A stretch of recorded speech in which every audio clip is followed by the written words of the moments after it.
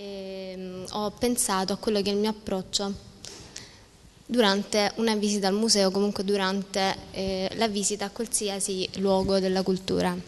Quindi il mio approccio è sempre quello, a causa di una deformazione professionale eh, che mi vede fare valutazioni purtroppo non poetiche e romantiche come quelle che possono essere appunto quelle di un archeologo, ma purtroppo di un economista.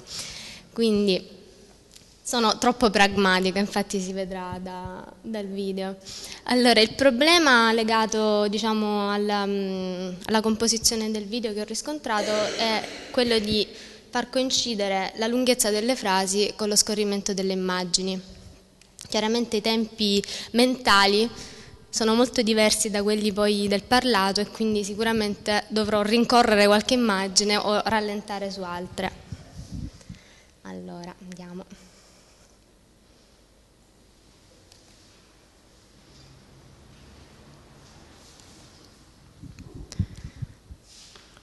Odi e t'amo è la frase che meglio riassume il mio rapporto con la cultura. Che ci sarebbero stati dei problemi con la cultura avrei già dovuto capirlo nel 2008, unica studentessa iscritta al corso sulla gestione culturale. E da quel momento in poi il mio viaggio solitario da economista anomala è iniziato. Il fatto è che ormai non riesco a pensare alla cultura se non nella sua accezione aziendale. Questa deformazione mi porta a non godere mai fino in fondo della fruizione una mia visita al museo, per esempio, non sarà mai guidata dal puro diletto, dal relax. Mille domande mi assalgono ogni volta. Quali servizi offre questo museo? A che prezzo? Numero di ingressi per costo di biglietto? Da dove prenderai i soldi? Sicuramente non dai privati. E lo Stato? Lo Stato non finanzia.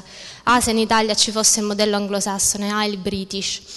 E anche se alla, se alla, fine della visita alcune opere non le avrò proprio viste, tutta questa curiosità mi rende sempre felice. È come quando all'inizio di una storia d'amore non, non ne ami abbastanza di conoscere l'altro. Poi però a un certo punto arriva la frustrazione, la delusione, l'amarezza. La frustrazione di non essere riuscita a trasmettere agli altri l'importanza della cultura e della sua sostenibilità. La delusione negli occhi dei miei che ancora non hanno ben capito cosa voglio fare da grande l'amarezza per non essere riuscita neanche oggi a mangiarci con la cultura. Ma essendo una persona positiva non demordo e mi consolo pensando che in fondo allo stato attuale delle cose ho ancora una trentina di anni per diventare il nuovo ministro dei beni culturali e resettare il sistema dall'interno. E resettare il sistema dall'interno.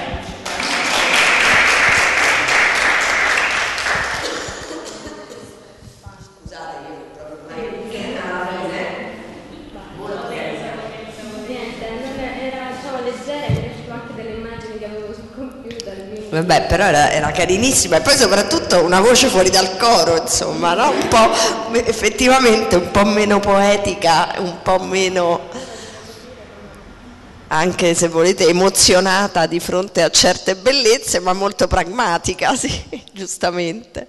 No, bello, carino. Sì, quello che dicevi della voce che rincorre le foto, questo è chiaramente uno dei anzi direi il problema poi quando si va a montarlo, perché devi allungare, cioè, o, o mh, mm, aumenti la sequenza, il numero di foto, oppure devi allungare i tempi magari di dissolvenza di una foto prima che cominci l'altra per dare il tempo alla voce di, di seguire quel passo. Quindi vabbè, questa è una delle difficoltà, ma insomma poi si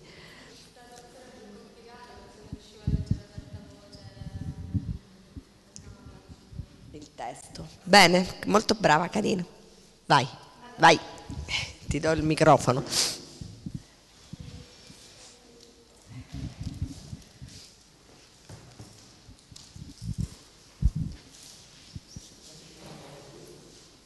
Allora, io ho provato a essere pragmatica a partire da quello che avevo, quindi mi sono guardata un attimo le foto che avevo e sono andata sul mio profilo Facebook mi ha colpito la mia copertina, cioè la tua copertina la conoscerai. E che beh, la prima immagine adesso la vediamo, comunque è una delle locandine del Festival di Lampedusa, quella che ho scelto io, che ho messo sul mio profilo, parte con Lampedusa insegna da mare. E quindi poi ho deciso di sviluppare un discorso sull'esperienza avuta l'anno scorso al festival e su come ha cambiato in qualche modo il mio rapporto con la cultura e la mia concezione della cultura.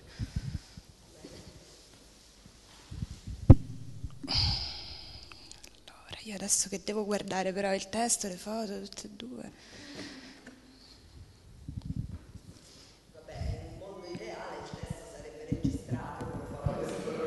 Allora, già che le foto le ho messe in ordine. Ma vado così invece di non andare in presentazione così clicco. Puoi anche parlare qui e liberarti di questo. Questo eh, si sente? Perfetto. Io sento, ma non entra nelle casse. Vabbè, tanto qua mi sentite. Vado. Lampedusa insegna ad amare. Ma che c'entra l'amore con la cultura? La scorsa estate ho avuto modo di partecipare al Festival del Cinema di Lampedusa. Un festival ricco di eventi e di scambi, mostre, dibattiti, proiezioni e concerti. Il Lampedusa in Festival è prima di tutto un atto di narrazione collettivo, un luogo dove costruire, raccontare, ma anche divertirsi insieme. Uno spazio dove non siamo bianchi o neri, italiani o stranieri, ma semplicemente siamo tutti persone, ognuno col suo vissuto e, col, e la voglia di condividerlo, per poi raccogliere tutti insieme i frutti di un percorso ricco di emozioni e riflessioni. Al momento di lasciare l'isola siamo un po' tristi, certo, ma anche arricchiti e abbiamo imparato qualcosa in più su che cos'è la cultura. Cultura è avere qualcosa da raccontare e qualcuno pronto ad ascoltarlo. Significa condividere esperienze e rifletterci insieme, mettersi in gioco mentalmente, emotivamente e fisicamente. Insomma è un atto di condivisione profonda, scambio di saperi e di vissuti.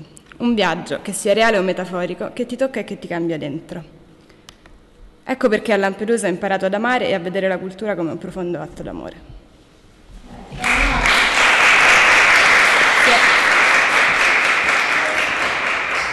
E qui invece abbiamo il trionfo della poesia, eh, nel senso che sarai pure partita dalle foto che avevi, però insomma era molto, molto poetico, quindi sì, pragmatica nel senso che...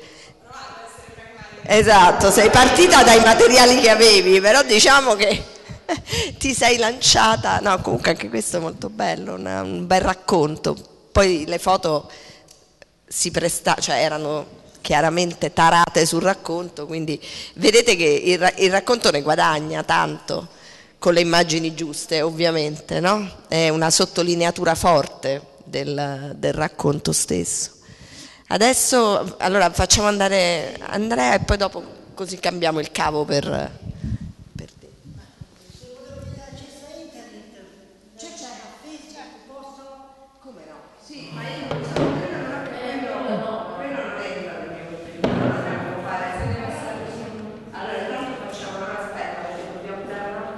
Sì. Scusate, niente. No, no. Eh.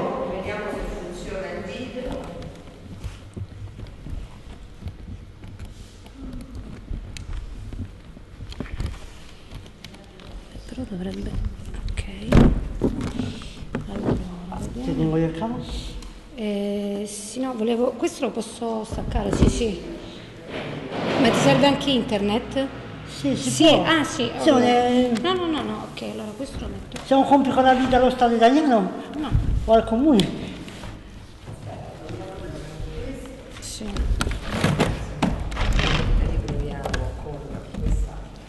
Allora. Ok. Però io non ho il mouse, eh. Eh, pazienza. Sì, vedi. Allora, questo va qua. No, è grosso quello per andare lì. No, prima c'è un dato. Ce l'ho messo. No, no, no, va, va, va, ecco. Sì, sì. Io quando qua i questi minuti non mi permetto.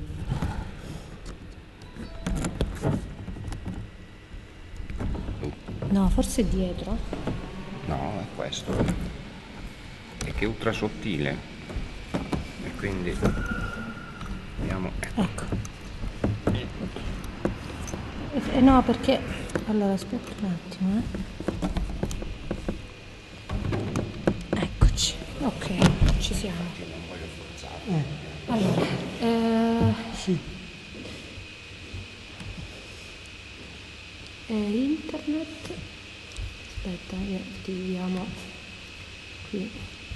C'è poco, se non- Ok. Ma- Sì.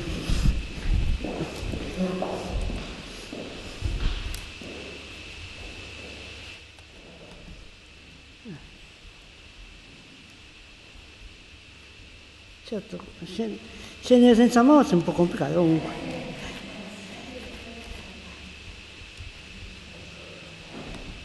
Eh, ma non è mio, bisogna- eh, è per uscire, è per uscire. eh, No, no, ma va, guarda. No, per uscire, dai. Tieni il mouse. Ah, già. ok. Eh, eh.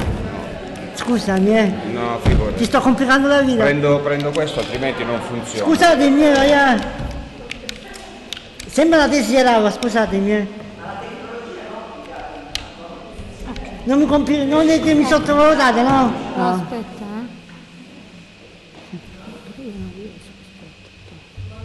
eh. Eh. Vado?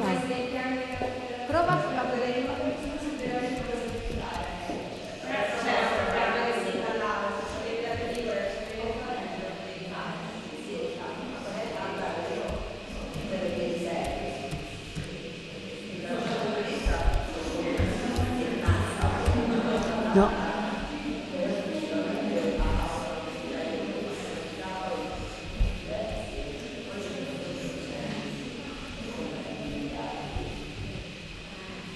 No, ci sta. Che fa? Ah. C'è... Scusatemi, eh.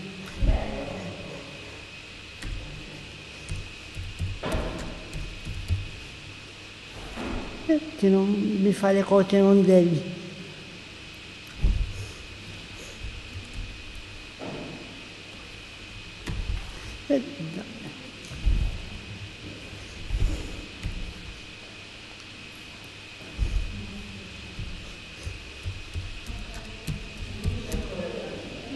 Manca un punto di troppo. Perché non...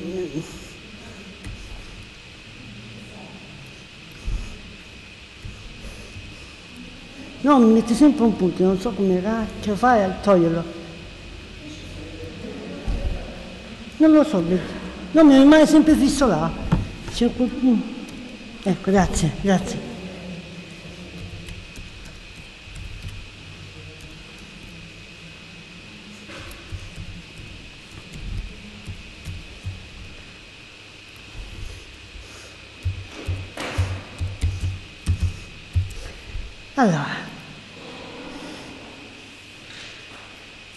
Tutto è cominciato quattro anni fa, quando ebbi il piacere di conoscerli, praticamente Babba, Babba, la nostra amica, che praticamente da lì mi portò, durante il tirocinio della provincia di Lecce, a farmi conoscere le Miriadi.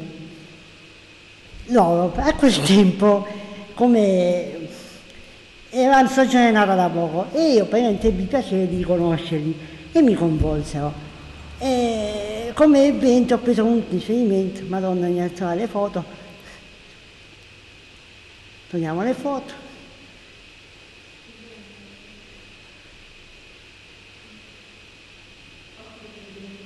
Sì, eh? Sì, ma... Eccole qua. E praticamente parlando con la Elena stiamo, ho preso spunto dalle foto della Notte Bianca. Perché questo? Perché quando ebbi piacere di entrare a far parte di questa compagnia, sono stato il primo ad essere dei ragazzi soci. E perciò ho quasi quasi da concludere a queste foto e praticamente abbiamo, ecco con esempio, sono foto della signorina, ho preso diritti dalla nostra Presidente. E, beh, questa è la mia foto con la prima presidentessa, Elena Spinelli, con cui abbiamo collaborato e poi da lì abbiamo collaborato insieme ad altri convegni, altri eventi e sono stato coinvolto a questi eventi grazie a loro. Basta. Eh.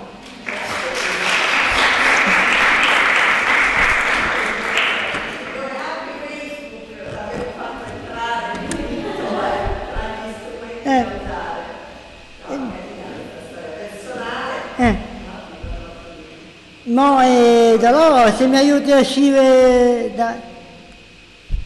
come devo... Eh. eh. Sì.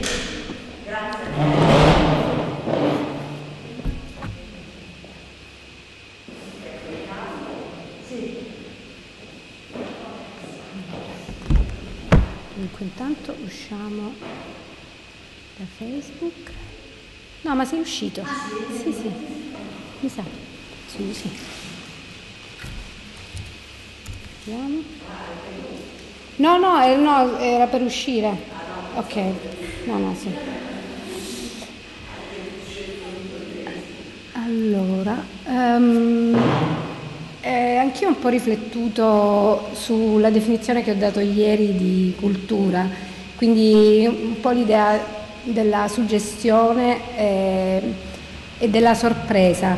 Quindi per me la cultura, diciamo, queste sono, potremmo definirle le parole chiave, suggestione, sorpresa e quindi anche un po' la riflessione che c'è no, dopo il sorprendersi, il meravigliarsi. E la difficoltà vabbè, è stata nel, um, così, nella tempistica, eh, indubbiamente, e poi devo dire che non ho seguito con precisione le indicazioni diciamo, metodologiche perché sono, più, cioè, sono partite in realtà dalle foto, cioè, ho pensato alle foto che avevo, che poi però in realtà sono foto che ho fatto io, quindi in qualche modo ho pensato potessero essere adatte.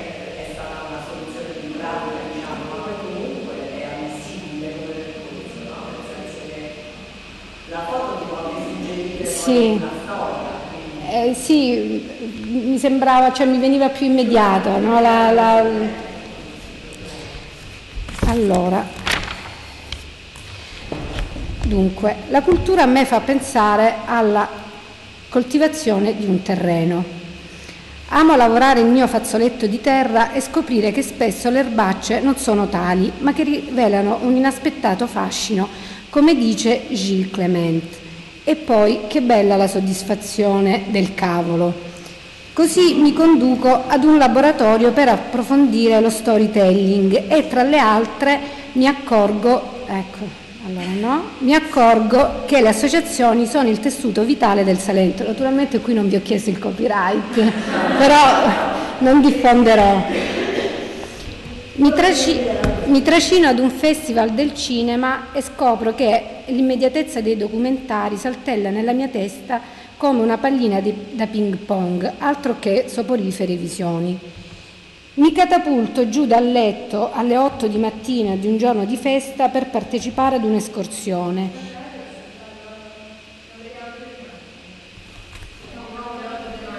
Scusami?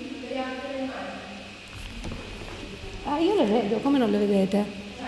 Eh no, sì, perché è lo screenshot di un Twitter. Eh sì, perché è il Twitter sul Festival del Cinema. Ah, ah no, eh, mi spiace perché... Eh.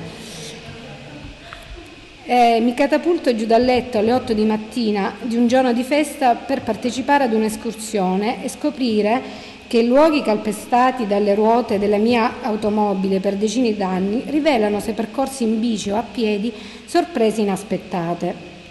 Cioè, vi giuro, questa eh, bancarella messa su un binario, nonché come un allevamento di cinghiali in un'ex cava nel cuore del Salento, anche quella c'era, nel sud Salento vicino a Santa Maria di Leuca. Impegno il mio tempo libero da pigra cronica, devota al divano e agli adorabili cuscini, in un viaggio di diverse ore per lasciarmi affascinare da un foro in una cupola che mi attrae incredibilmente come la prima volta. Insomma, coltivo me stessa dove io sono il terreno e il contadino.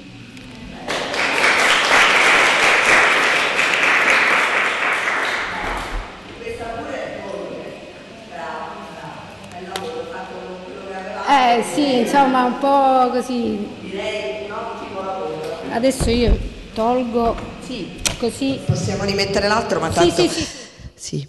Volevo farvi vedere, ma lo facciamo dopo se abbiamo tempo, ho trovato dei tutorial di altri programmi al di là di Sony Vegas che sono anche in italiano oltre che in inglese e quindi magari dopo se abbiamo tempo facciamo un giro su uno di questi programmi col suo tutorial tanto per farvi vedere come si, come si fa al di là del fatto che poi ci sono tra voi chi, persone che già lo sanno fare però magari può essere utile vederli un attimo. Giunti a questo punto, io vi passerei la parola nel senso che vorrei capire da voi. Secondo voi che ci si può fare con tutto ciò? Cioè al di là di quello che ci sto facendo io e, e i miei partner eh, del progetto europeo sui musei, che come vi ho detto è comunque un'attività di tipo assolutamente sperimentale che stiamo provando a valutare anche, quindi diciamo una volta terminata la valutazione avremo qualche dato in più sul risultato. È chiaro che già così a naso, come vi ho detto ieri, ci sono degli, degli elementi sicuramente positivi. Non so dire se poi questo strumento funziona con tutti i tipi di pubblico, non so dire quanto diversamente funzioni rispetto ad altre attività laboratoriali, non lo so ancora quantificare.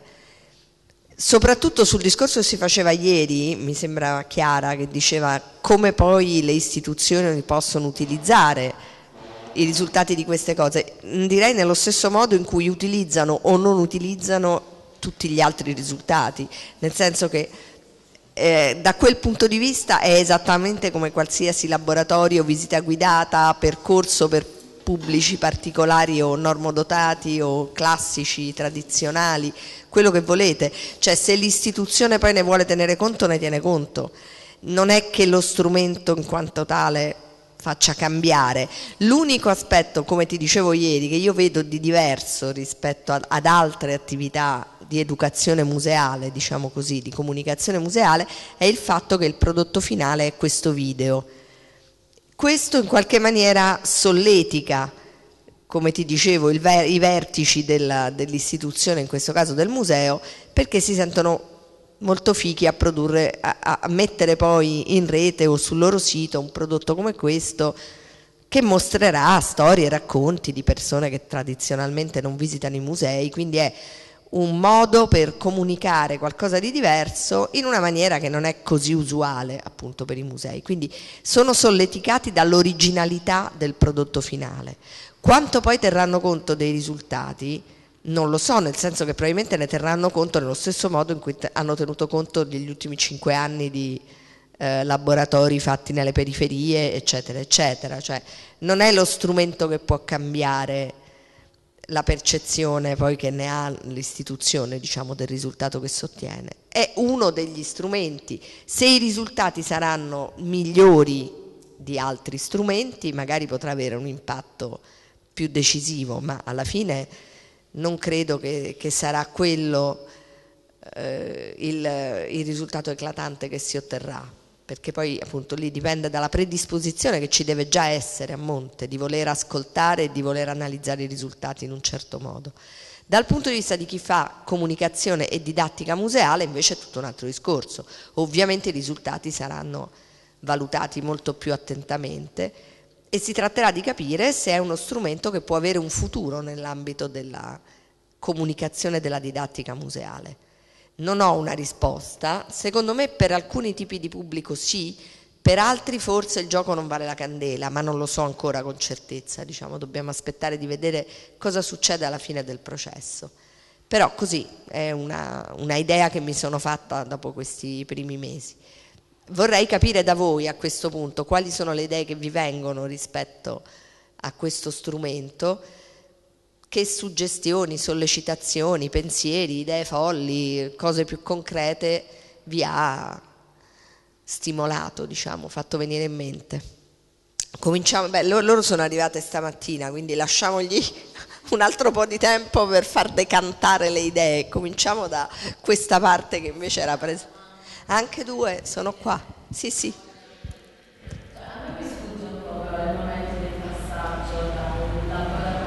Sì.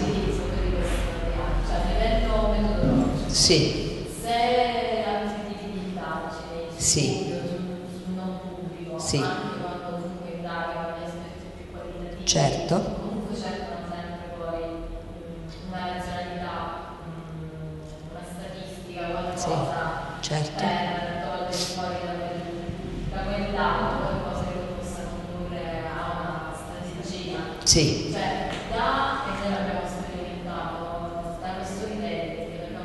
anche Brava.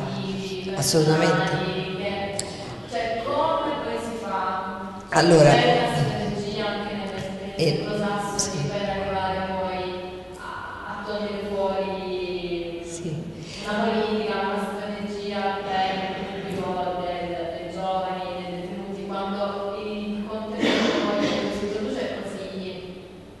impalpabile per certi versi. Allora, il problema è esattamente questo, cioè il motivo per cui ci siamo imbarcate in questa avventura è perché io e questa collega del Museo di Zoologia sono dieci anni che lavoriamo su indicatori qualitativi di valutazione di impatto sociale. Quindi eh, togliendoci diciamo, dalla testa l'idea che, che- che ci debbano essere per forza, o che comunque anche gli indicatori qualitativi debbano confluire in un qualcosa di quantitativamente misurabile. no?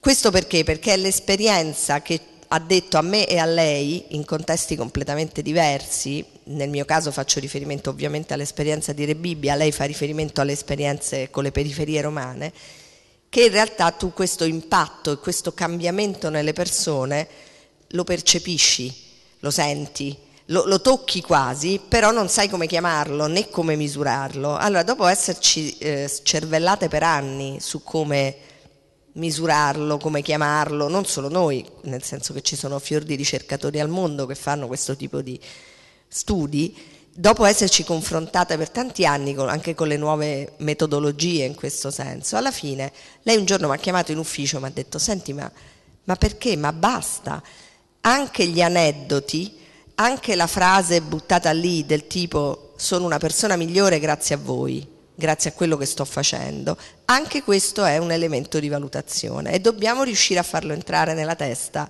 di chi poi fa politica che non possiamo cercare di ridurre una frase del genere a un dato quantitativo, perché è impossibile, perché i numeri sono quelli che sono e perché poi non lo puoi misurare.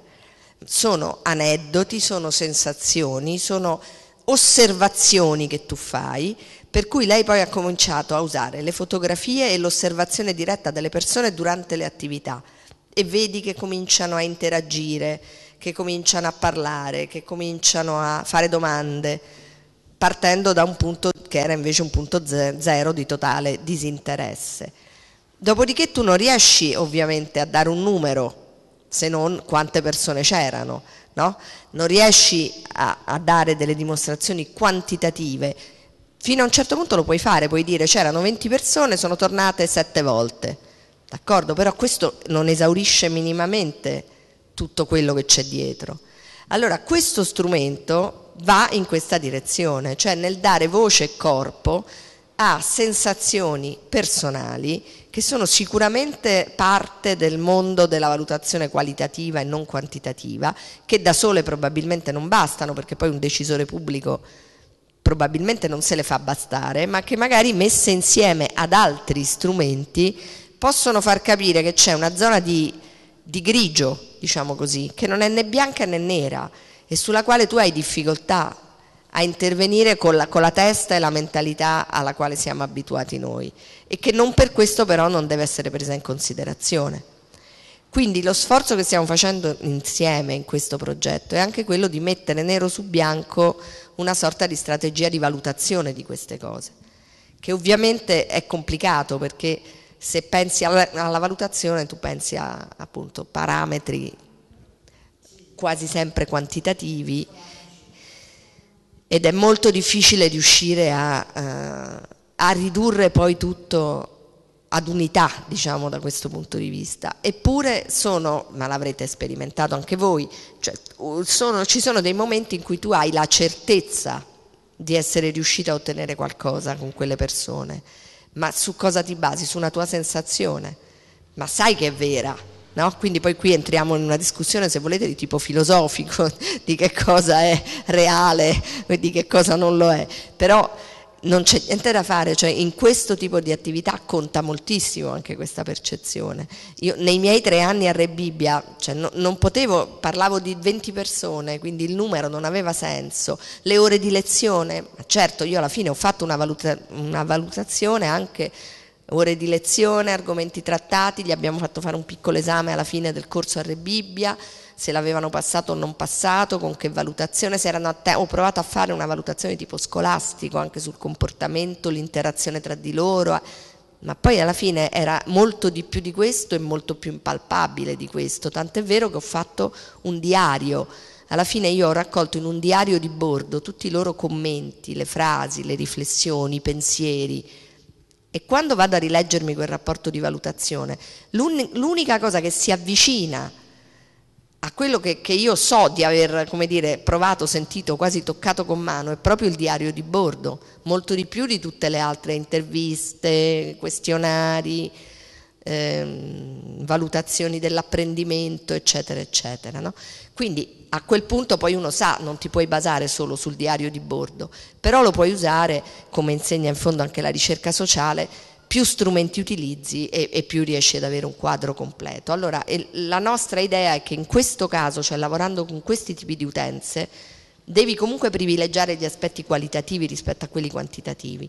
Dopodiché cerchi di mettere tutto insieme e di produrre una valutazione solida che però tenga anche in considerazione questi aspetti. È chiaro che uno strumento come questo diventa uno strumento di valutazione perché poi dà un'espressione personale alla fine che cosa il tuo visitatore pensa del tuo museo. Mm? In questo caso il Museo della Scienza chiede che percezione avete della scienza, com'è il vostro rapporto col Museo della Scienza. Verranno fuori aneddoti, non verranno fuori trattati approfonditi, ma da questo tu ricavi degli elementi per capire che cosa c'è, come funziona il rapporto tra il museo e quella persona. Non so se ti ho risposto, ecco, diciamo che questa è la linea di ricerca in cui siamo in questo momento immerse. So...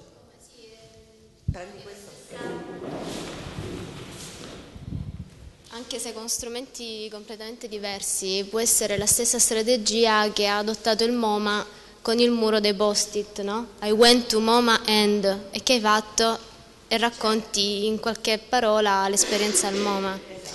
E poi, cioè, in, dal, da quello che è uscito questa mattina, no? Dalla, dal racconto, in realtà anche in un campione così piccolo, parlando in termini numerici, è uscita quella che è la realtà italiana, per esempio, no?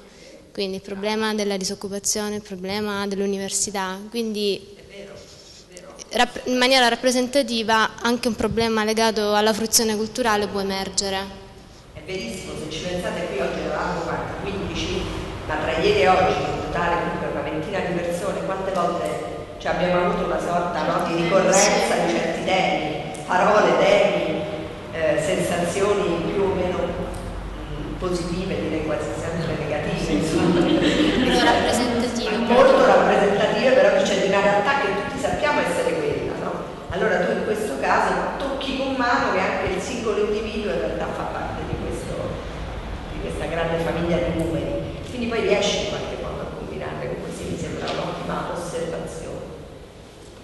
Ci sono altre domande su questo? No, un'osservazione su questa cosa, mm, insomma, che lei citava il muro dei post-it, no? E mm, lei prima ci diceva invece l'istituzione magari si fa un po', uh, si sente un po' cool mettendo i video su internet, eccetera. Però al di là della pubblicità è effettivamente, cioè vedere altre persone che ti raccontano, vederle proprio, leggere quello che hanno scritto, cioè suscita una risposta emotiva comunque nelle persone, quindi al di là c'è uno strumento di promozione in questo senso alla fine, quindi vabbè, insomma giusto e di solito appunto va più in là poi questa idea di promozione del, del, semplice essere cool come dici tu, no certo, no però te lo dico perché molte volte la risposta poi anzi nello specifico è stata sì vabbè ma alla fine che cosa c'è? Ah alla fine c'è un video con le persone, ah carino il video lo mettiamo sul nostro sito così si vedono le persone che raccontano, ecco vabbè questo viene colto E va bene anche questo, per carità, però in realtà anche solo dal punto di vista della promozione è molto più di questo, certo, sono d'accordo. Eh no, io pensavo soprattutto al, um, all'utilizzo che si può fare di questo strumento e mi venivano un po' di, di idee. allora, per esempio pensavo alla possibilità di utilizzare lo storytelling eh, nel caso di organizzazione di eventi, nel senso molto spesso gli eventi vengono promossi c'è l'evento e finisce lì la storia. Invece, per esempio, utilizzare questo strumento per conoscere le reazioni, il modo in cui ha partecipato il pubblico e quindi avere anche un post evento che possa in un certo senso ehm, non far, far terminare la cosa lì, ma dargli una continuità ed eventualmente riproporlo. Che ne so, io pensavo a invasioni digitali, l'evento che c'è stato, anche come stimolo per eh, riproporre mm, l'evento l'anno prossimo benissimo, quindi poteva essere un modo per capire le reazioni del pubblico di fronte a, um, ad un'iniziativa organizzata una continuità proprio del, perché spesso insomma rimangono cose chiuse in se stesse che non hanno un, um, un dopo.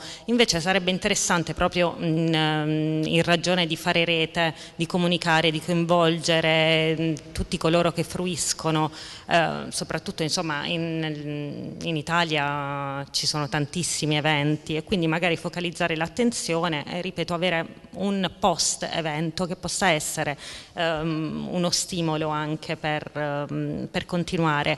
Oppure per esempio pensavo alla possibilità di integrare vari linguaggi, quindi non soltanto il linguaggio fotografico, il linguaggio video per esempio, le accennavo coinvolgendo filmmakers anche di un certo livello, per esempio che potrebbero accompagnare il racconto con delle, delle riprese, insomma farlo diventare uno strumento mm, di, di, promozione, di promozione appunto di, di, marketing, non soltanto di, uh, di marketing però con, cioè, che abbia alla base, uh, uh, ripeto, sensazioni, emozioni, mettere al centro sì le persone e anche altri linguaggi, per esempio il linguaggio pittorico, associare a io sono un artista, racconto la mia storia e nel frattempo c'è una galleria delle mie opere, per esempio anche nelle carceri credo ci siano attività di questo tipo e quindi far procedere mh, varie, insomma, mh, diciamo arrivare anche appunto ad un'integrazione di linguaggi, non soltanto quello della fotografia o della parola, ma anche allargarsi a vari tipi di, di interazioni. Sì soltanto alcune perplessità. Allora, no, sul discorso dei linguaggi mm, c'era una storia molto be bella fatta da un collega durante quella, quell'attività formativa in Turchia, tutta a fumetti disegnati da lui, quindi non c'era nessuna fotografia, solo fumetti. Lui era bravo a disegnare e quindi si è creato il fumetto. Allora, la prima obiezione è questa, quando tu dicevi coinvolgere dei bravi filmmakers, perfetto, però allora non è più il tuo prodotto, cioè, qui bisogna come dire, capirsi su cosa vogliamo ottenere. Se il prodotto deve essere interamente personale, allora non ha senso dire coinvolgo un artista per farne una parte e, e, poi tu invece sotto racconti la tua storia. Altrimenti si può decidere di fare, certo, però diventa un'altra cosa, cioè lo, in qualche modo ne cambi diciamo, la natura no? perché invece qui nasce come forma di espressione personale a 360 gradi, quindi tu ti scrivi la storia, tu decidi che immagini, che foto, che video, che disegni, anche se non sono tutti tuoi, loro, per esempio mm, in Inghilterra quando c'è stato quel progettone della BBC sconsigliavano l'uso di video e foto non proprie, invece spingevano a Esatto, ha una produzione propria, proprio perché è un atto di creatività personale. Dopodiché, se c'è una foto che non è tua, va bene lo stesso, però in linea di massima il prodotto deve essere tuo, così come è stato concepito, perché ripeto, è stato concepito come una forma di espressione personale. Poi nulla vieta che uno crei delle forme ibride, però Ecco, nella chiarezza diciamo che stiamo parlando di un'altra cosa. Sul discorso che dicevi tu dei festival, a me è venuto in mente il suo per esempio, eh, eh lei ha fatto esattamente questo, un post festival di Lampedusa se vuoi. Il problema qual è? anche lì dipende sia quali sono gli obiettivi sia come lo strutturi questo lavoro, perché se tu lo immagini come una raccolta di pensieri, sensazioni di persone che hanno partecipato sotto forma di intervista è un conto. Se immagini di far fare alle persone un percorso del genere devi comunque avere un gruppo di, di persone definito, stabilito, fissato, le devi seguire per un periodo di tempo, che siano 15 giorni, un mese, non lo so, poi dipende, chiaramente in questo caso non parliamo di persone con particolari problemi, quindi può essere anche una cosa più breve. Ci deve essere appunto un'attività di laboratorio che segue determinate fasi, quindi diventa una cosa diciamo un po' più complessa. E va benissimo Va benissimo, ecco, però eh, deve essere appunto ben chiaro che non si tratta di raccogliere semplicemente no, delle interviste, dei pareri, ma si tratta di fare un lavoro strutturato, però mi sembra anche un'idea molto interessante, perché poi comunque potrebbe, a, a proposito di valutazione, potrebbe comunque diventare uno strumento per poi magari ritarare il festival successivo, cioè nel senso che a quel punto a seconda anche dei commenti che raccogli, potrebbero venirti delle, delle suggestioni, delle idee per modificare qualcosa. E allora però lì si crea un altro problema, come lo scegli il campione di persone che ti partecipano a questo workshop? Perché se lo scegli omogeneo otterrai delle risposte più o meno omogenee, come è successo a noi in questi due giorni. No? Voi vivete situazioni molto simili, guarda caso abbiamo avuto queste ricorrenze no? di università, lavoro, eccetera, eccetera. Allora, se vuoi invece avere una risposta più possibile aderente alla realtà, dovresti scegliere persone rappresentative delle varie tipologie di pubblico che ha frequentato il festival o che non lo ha frequentato, anche per capire perché non lo hai frequentato, qual è il tuo rapporto col festival, che ne pensi, però allora lì c'è da fare tutto un lavoro a monte di selezione anche del gruppo, perché se no rischi di trovare tutte persone come lei che sono entusiaste, gli è piaciuto tanto, hanno mm, vissuto un'esperienza meravigliosa e ottieni delle risposte omogenee a quel punto. E allora vale come strumento espressivo ma non vale poi per una valutazione. Quindi insomma bisogna studiare bene a monte. Non riesco più a parlare, però sì, sono d'accordo con te che potrebbe essere usato in questo senso. Tu invece stamattina parlavi dell'archeologia, l'archeologia è un'altra nota dominante, diciamo, di questa due giorni, assolutamente. Tutti disoccupati, tutti archeologi, infatti, cioè, diciamo, eh? e quindi lei diceva, ma per l'archeologia che potremmo fare? No, ehm, no vabbè, io in realtà diciamo, stavo pensando ad un discorso di utilizzazione per quanto riguarda il discorso degli ecomusei, dove comunque insomma, si parla di partecipazione, in quel caso partecipazione delle comunità nella insomma, costituzione degli ecomusei e quindi ho pensato quale miglior modo magari di uh, unire insomma, questo nuovo cioè questo strumento che io sinceramente fino ad oggi a stamattina non conoscevo. E quindi insomma però subito l'ho collegato come, come discorso insomma di anche insomma esperienziale eccetera eccetera un discorso mh, mm, ecomuseale quindi eh, dove si vanno a costituire poi in realtà queste mappe di comunità perché poi il senso uni, eh, ultimo è quello quindi dove la comunità poi si esprime in questa mappa in cui si deve riconoscere e magari uno strumento ulteriore per insomma, far esprimere la comunità potrebbe essere un, insomma, un laboratorio in, in, questo senso.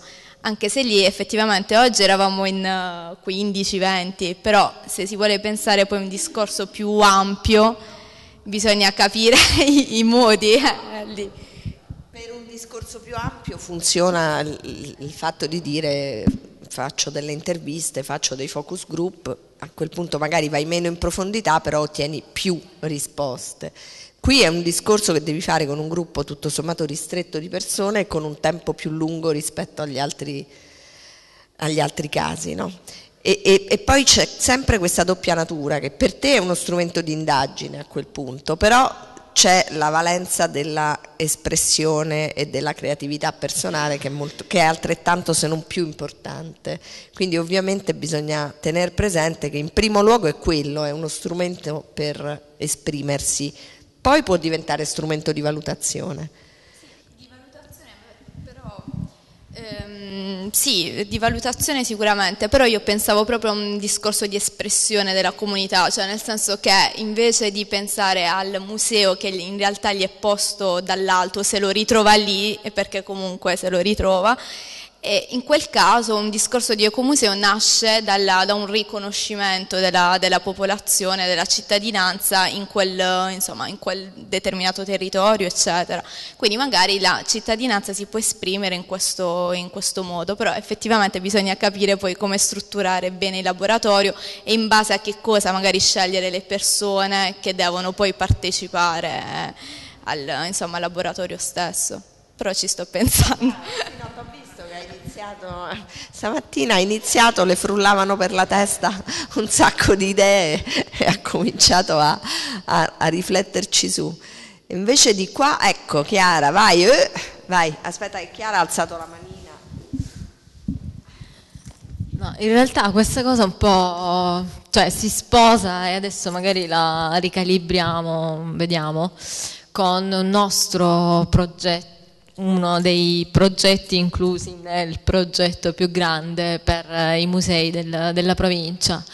E, um, un nostro museo che dovrebbe essere partner ha all'interno di un museo preistorico una sala eh, etnografica con, eh, con, una collezione donata da, un, da uno studioso eh, con vari oggetti provenienti di, da diversi paesi dell'Africa, quindi diviso per, per nazioni um, e raccontano appunto le storie legate a questi oggetti riguardo a uh, so, riti, religioni, idoli, eccetera, eccetera.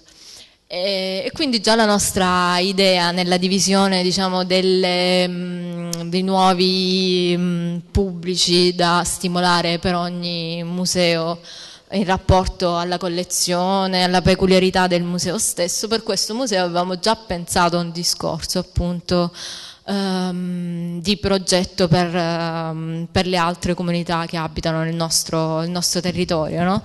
Allora avevamo un po' pensato più che altro a un discorso di un laboratorio di teatro in cui eh, con rappresentanti delle stesse comunità eh, rappresentate da, da, da, dalla collezione e, um, un laboratorio di teatro, quindi dei tempi diciamo lunghi come per un laboratorio di storytelling, in cui raccontare la storia del, degli oggetti attraverso in realtà le storie del, delle persone che abitano nel nostro territorio con tutto il vissuto che si portano dietro. E quindi eh, in un certo senso per dare un senso questa, alla collezione anche che magari eh, all'interno di, di un, museo preistorico rimane un po', no?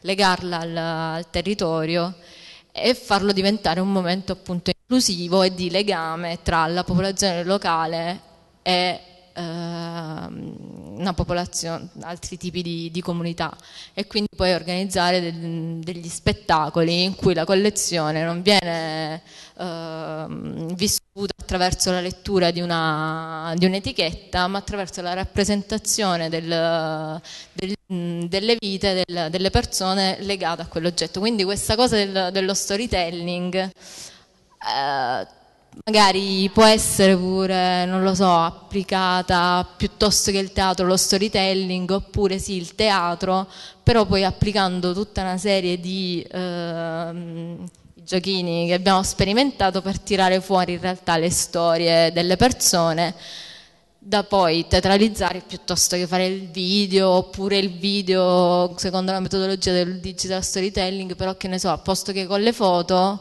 con, uh, con, le persone che recitano e la rappresentazione dei vari oggetti, cioè una luce tipo puntata sui vari oggetti esposti nella collezione che sostituiscono le foto, non lo so, che Cioè, no, perché ancora il progetto deve, deve iniziare, deve partire. Il museo? Sì, dovrebbe essere il nostro partner. E il museo, e il museo ha già instaurato un rapporto con le comunità Penso a rapporti di questo tipo con comunità di extracomunitari in questo senso che io sappia no, anche perché la, questa collezione, questa sala è abbastanza diciamo nuova e recente rispetto alla nuova invece sistemazione, sempre nuova sistemazione del museo, però la sala è ancora. E ovviamente non ci sono tra i visitatori membri di, comunità straniere, diciamo questo. No, anche infatti sì, è un discorso anche magari, cioè non ci sono e magari non vorranno neanche partecipare perché non lo so, noi non lo sappiamo, ma probabilmente un oggetto o quel tipo di, di esposizione, boh, magari per un motivo X può anche magari offendere quella determinata comunità, lo sappiamo, magari quell'oggetto rappresenta qualcosa che in quella comunità può non far piacere. Sì, sicuramente la musealizzazione degli oggetti crea comunque problemi in culture diverse dalla nostra, proprio per principio, al di là del tema della musealizzazione dei resti umani, che, che in alcune culture non è accettata, per esempio, ma anche gli oggetti, da oggetti rituali, per esempio, non vengono apprezzati se musealizzati dalle comunità che, che poi li usano invece per i riti. Quindi sicur- sicuramente la questione è controversa e dibattuta e potreste trovarvi di fronte anche a dei rifiuti. Però lì il problema è che secondo me la visita al museo deve venire dopo, cioè deve instaurare il rapporto con, con le persone, non deve essere il primo obiettivo quello di dire vi portiamo al primo obiettivo deve essere parliamo di questo argomento. Ah scusate, sì, intanto mi. Grazie. Cioè, perlomeno i progetti, io non so se voi avete presente la, la, le attività che sta facendo Brera, l'Accademia di Brera con gli immigrati, ci, sono due progetti, Brera, a Brera anch'io si chiamava il primo e il secondo, che in realtà non è altro che la continuazione del primo, si chiama Brera un'altra storia e riguarda il rapporto eh, delle comunità immigrate con chiaramente la storia dell'arte occidentale, nel caso di Brera ovviamente. E quindi diciamo un dialogo tra due culture eh, molto differenti. Allora lì l'approccio non è stato quello di dire vi portiamo al museo per farvi vedere queste cose, l'approccio è stato parliamo di arte, che cos'è l'arte, che senso ha l'arte, che scopo ha l'arte, perché per esempio nelle culture africane l'arte non esiste, cioè gli oggetti vengono prodotti perché servono, perché hanno un utilizzo, no? il concetto di oggetto in quanto tale nel senso di oggetto artistico, di esperienza estetica, non, non è contemplato, no? quindi ovviamente si, si discute di cose differenti, per cui l'approccio deve essere vi va di parlare di questo tema. La visita al museo viene molto dopo e lo stesso succede col museo scientifico, il museo di zoologia per esempio. Quando lei va in periferia dai vecchietti, lei non dice venite che vi porto al museo a vedere una cosa bella, perché cioè, lei dice sì è bello per me, loro mi possono dire a me, ecco, bravo, cioè, non mi interessa. No? Allora lei va là e dice Parliamo di scienza, sapete che cos'è un microscopio, a cosa serve un microscopio? Avete mai visto un, un vetrino al microscopio? Suscitare interesse o comunque discussione su un tema. Poi dopodiché si può dire, vabbè, vuoi venire a vedere le cose che ho al museo?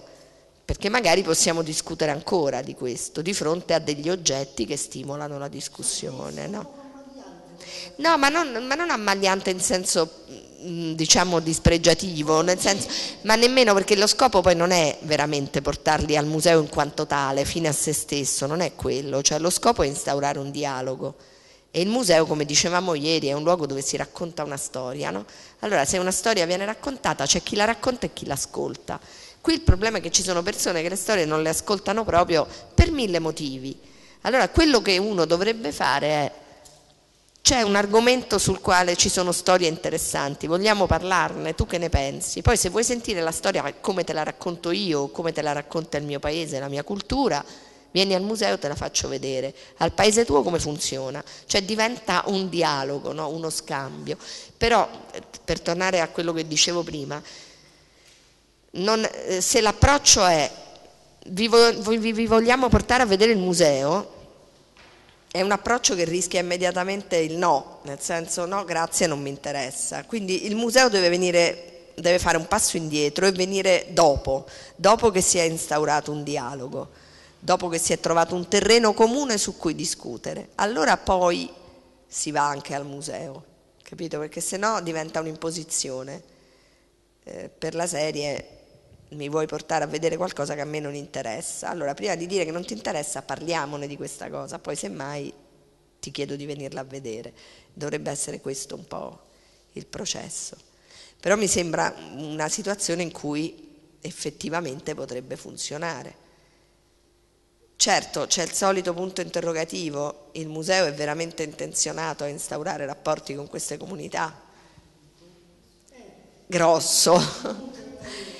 è perché se no siamo al solito discorso che allora o ci sono persone di buona volontà all'interno del museo che lo fanno perché ci credono al di là di un effettivo coinvolgimento dell'istituzione e però qual è il rischio in questi casi? Che quando poi la, la mia collega e amica Elisabetta andrà in pensione al Museo Civico di Zoologia tutto quello che lei ha fatto in questi ultimi sei anni con le periferie romane se ne andrà in pensione con lei se non ci sarà nel frattempo un effettivo, eh, ma sai, non è facile, non è che poi tutti abbiano questa vocazione, ci dovrebbe essere il coinvolgimento profondo dell'istituzione che dice questa è una cosa che abbiamo assunto al nostro interno come una delle nostre attività e quindi la si continua. Se questo non succede rimane tutto sulle spalle della singola persona e della buona volontà dei singoli, che va bene lo stesso, però rischia di non essere poi sostenibile nel futuro. D'altronde pur di non farle uno le cose le fa anche così, cioè lei lo dice, dice io qui quando vado in pensione non so che cosa succede di tutto questo, cioè esaur- lei dice da ricercatrice si esauriscono intere linee di ricerca. No? Questa è la frase con cui lei commenta la sua prossima pensione e il fatto che probabilmente nessuno proseguirà in queste attività. Però è così, cioè si esauriscono linee di ricerca se non c'è interesse in questo senso. Quindi dicevo, il museo, o meglio, la direzione del museo. Ma la tua sensazione? No. Vabbè, ho capito. Vedi passo. No, nel senso penso sia una cosa talmente aliena. No, talmente diciamo nuova, difficile, piena di complicazioni ancora per il territorio che non... cioè, sicuramente c'è un buon eh, sostrato, si tratta di stimolare. Di stimolare, sì, Vabbè, di- quindi no, sì. tu mi sembri comunque possibilista, cioè non c'è non intravedi una difficoltà a priori. No, no. Cioè, deve essere positivo. No, no, sì, sono possibilista, però capisco anche le difficoltà poi che può avere al di là delle buone intenzioni di appunto delle singole persone, le difficoltà che può avere un, un ente che comunque insieme a tutto quello è chiamato anche ad occuparsi del, eh, di altri beni pubblici. Sì, nel, nel caso però delle comunità migranti, se posso dire, l'aspetto quantitativo aiuta, nel senso che si tratta di comunità che sono numerose e lo saranno sempre di più. Quindi diciamo non hai il problema dei 20 carcerati o dei 16 ragazzi del minorile.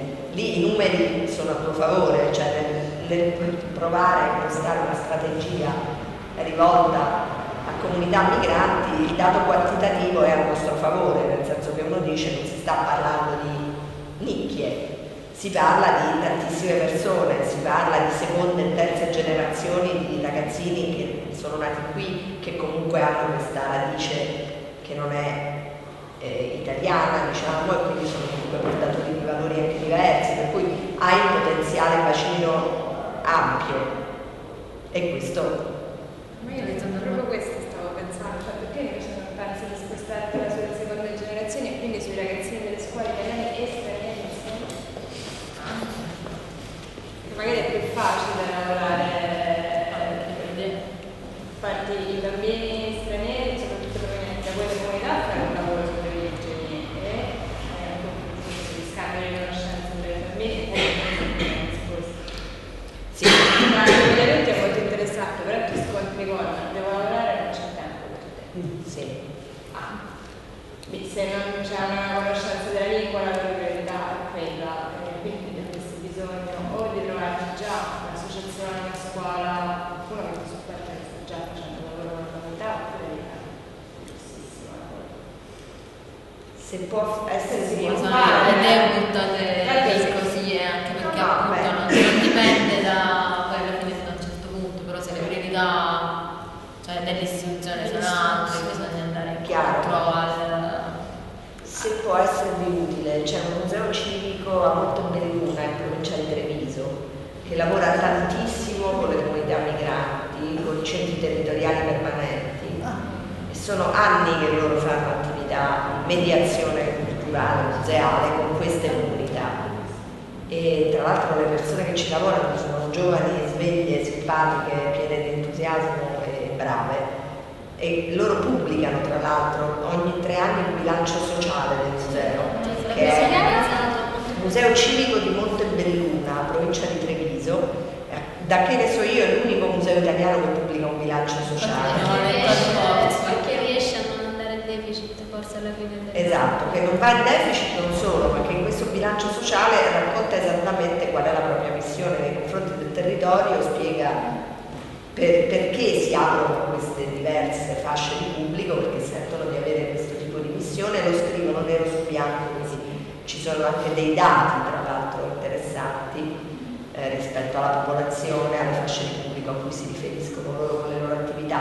E quello è un buon esempio anche di lavoro con comunità straniere, per cui se avete bisogno e voglia di mettervi in contatto fatelo, vabbè, posso farvi anche da tramite, ma sono due, la direttrice e la sua curatrice sono due persone appunto giovani, brave, gamba e aperte a, a queste cose. Quindi secondo me sì, è una buona idea questa di lavorare questo strumento in quel contesto, così come lo è questa idea di usarlo per un feedback dopo un evento o dopo un'attività. Quindi può esserlo sia a monte che a valle di un'attività che si fa. Sarei curiosa di vedere come va. Altre cose? A me per esempio interessa molto l'aspetto legato all'ecomuseo, eh, pensando soprattutto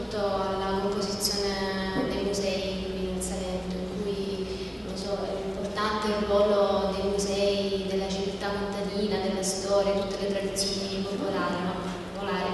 Quindi mh, l'idea che mi sono fatta della- dello storytelling è quello che appunto al di là della comunicazione e della didattica può rappresentare proprio uno strumento per musealizzare la, la cultura immateriale che si perde purtroppo con andare avanti.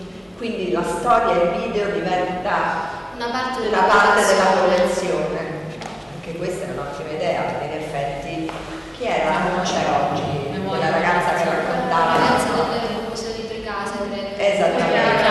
Volevo parlare. Esattamente, sì, perché lei ieri mi raccontava del fatto che quando poi eh, si parla di tradizioni popolari, di folklore, di vecchie, eh, vecchie diciamo anche sì, tradizioni, credo sia la parola più adatta, ci sono queste persone che hanno in realtà molta voglia di raccontare, che sono sempre pronte a, a raccontare.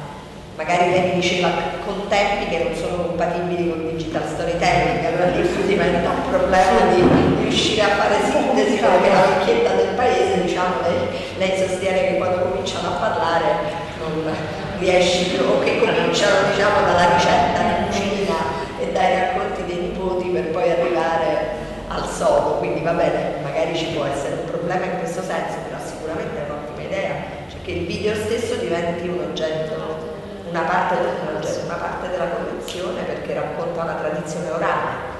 Certo che sì. anche appunto come una, un'attività che veniva svolta Sì. alle poche volte. Certo. In questo senso eh, penso a un progetto portato avanti dall'Università di, di Modena eh, su- sugli stretti della meccanica e, e loro appunto nel tentativo di, eh, di trasmettere poi ai ragazzi quella che è l'esperienza del distrettuale, quindi che risale da anni e anni e anni di attività dell'industria e usufruiscono proprio di questi, di questi mezzi per trasmettere poi ai giovani eh, Le conoscenze, le proprio le conoscenze. competenze sicure, sì. Sì, è sicuramente uno strumento che può essere usato in questo. Carino, bella idea. Allora, eh, vabbè, io pure sul discorso museale per quanto riguarda Lampedusa che oltre al festival cercando da anni, adesso finalmente c'è una sede fisica di costruire un museo della memoria migrante. Sicuramente lo storytelling è uno strumento molto importante sia per diventare proprio parte del patrimonio museale, perché poi ci sarà tutta una parte di museo virtuale, perché con eh, varie associazioni che lavorano su tutto il territorio, non solo a Lampedusa, si può anche rintracciare magari chi è sbarcato a Lampedusa. E poi anche un'altra cosa che ci interessa molto è fare un lavoro un po' di cucitura con i lampedusani, cioè far finalmente sentire a loro che questa cosa è loro, perché non con tutti i lampedusani c'è. E quindi quello può essere un grande strumento, però per uscire un attimo dal museale, che mi sembra l'ambito di tutti quanti, a me è un'altra cosa che proprio per la natura della narrazione che mi piacerebbe molto usarlo è nelle classi di italiano per stranieri. Perché quando insegni agli adulti la- l'autonarrazione, il raccontare sé, l'urgenza di raccontarsi è lo strumento fondamentale anche per insegnare una lingua di cui tu hai bisogno per stare su questo territorio. Quindi pensare in un laboratorio di storytelling in una classe di italiano vedo proprio un feedback molto immediato, molto efficace. che- Esatto. E poi c'è l'immagine che comunque è sempre uno stimolo. Esatto.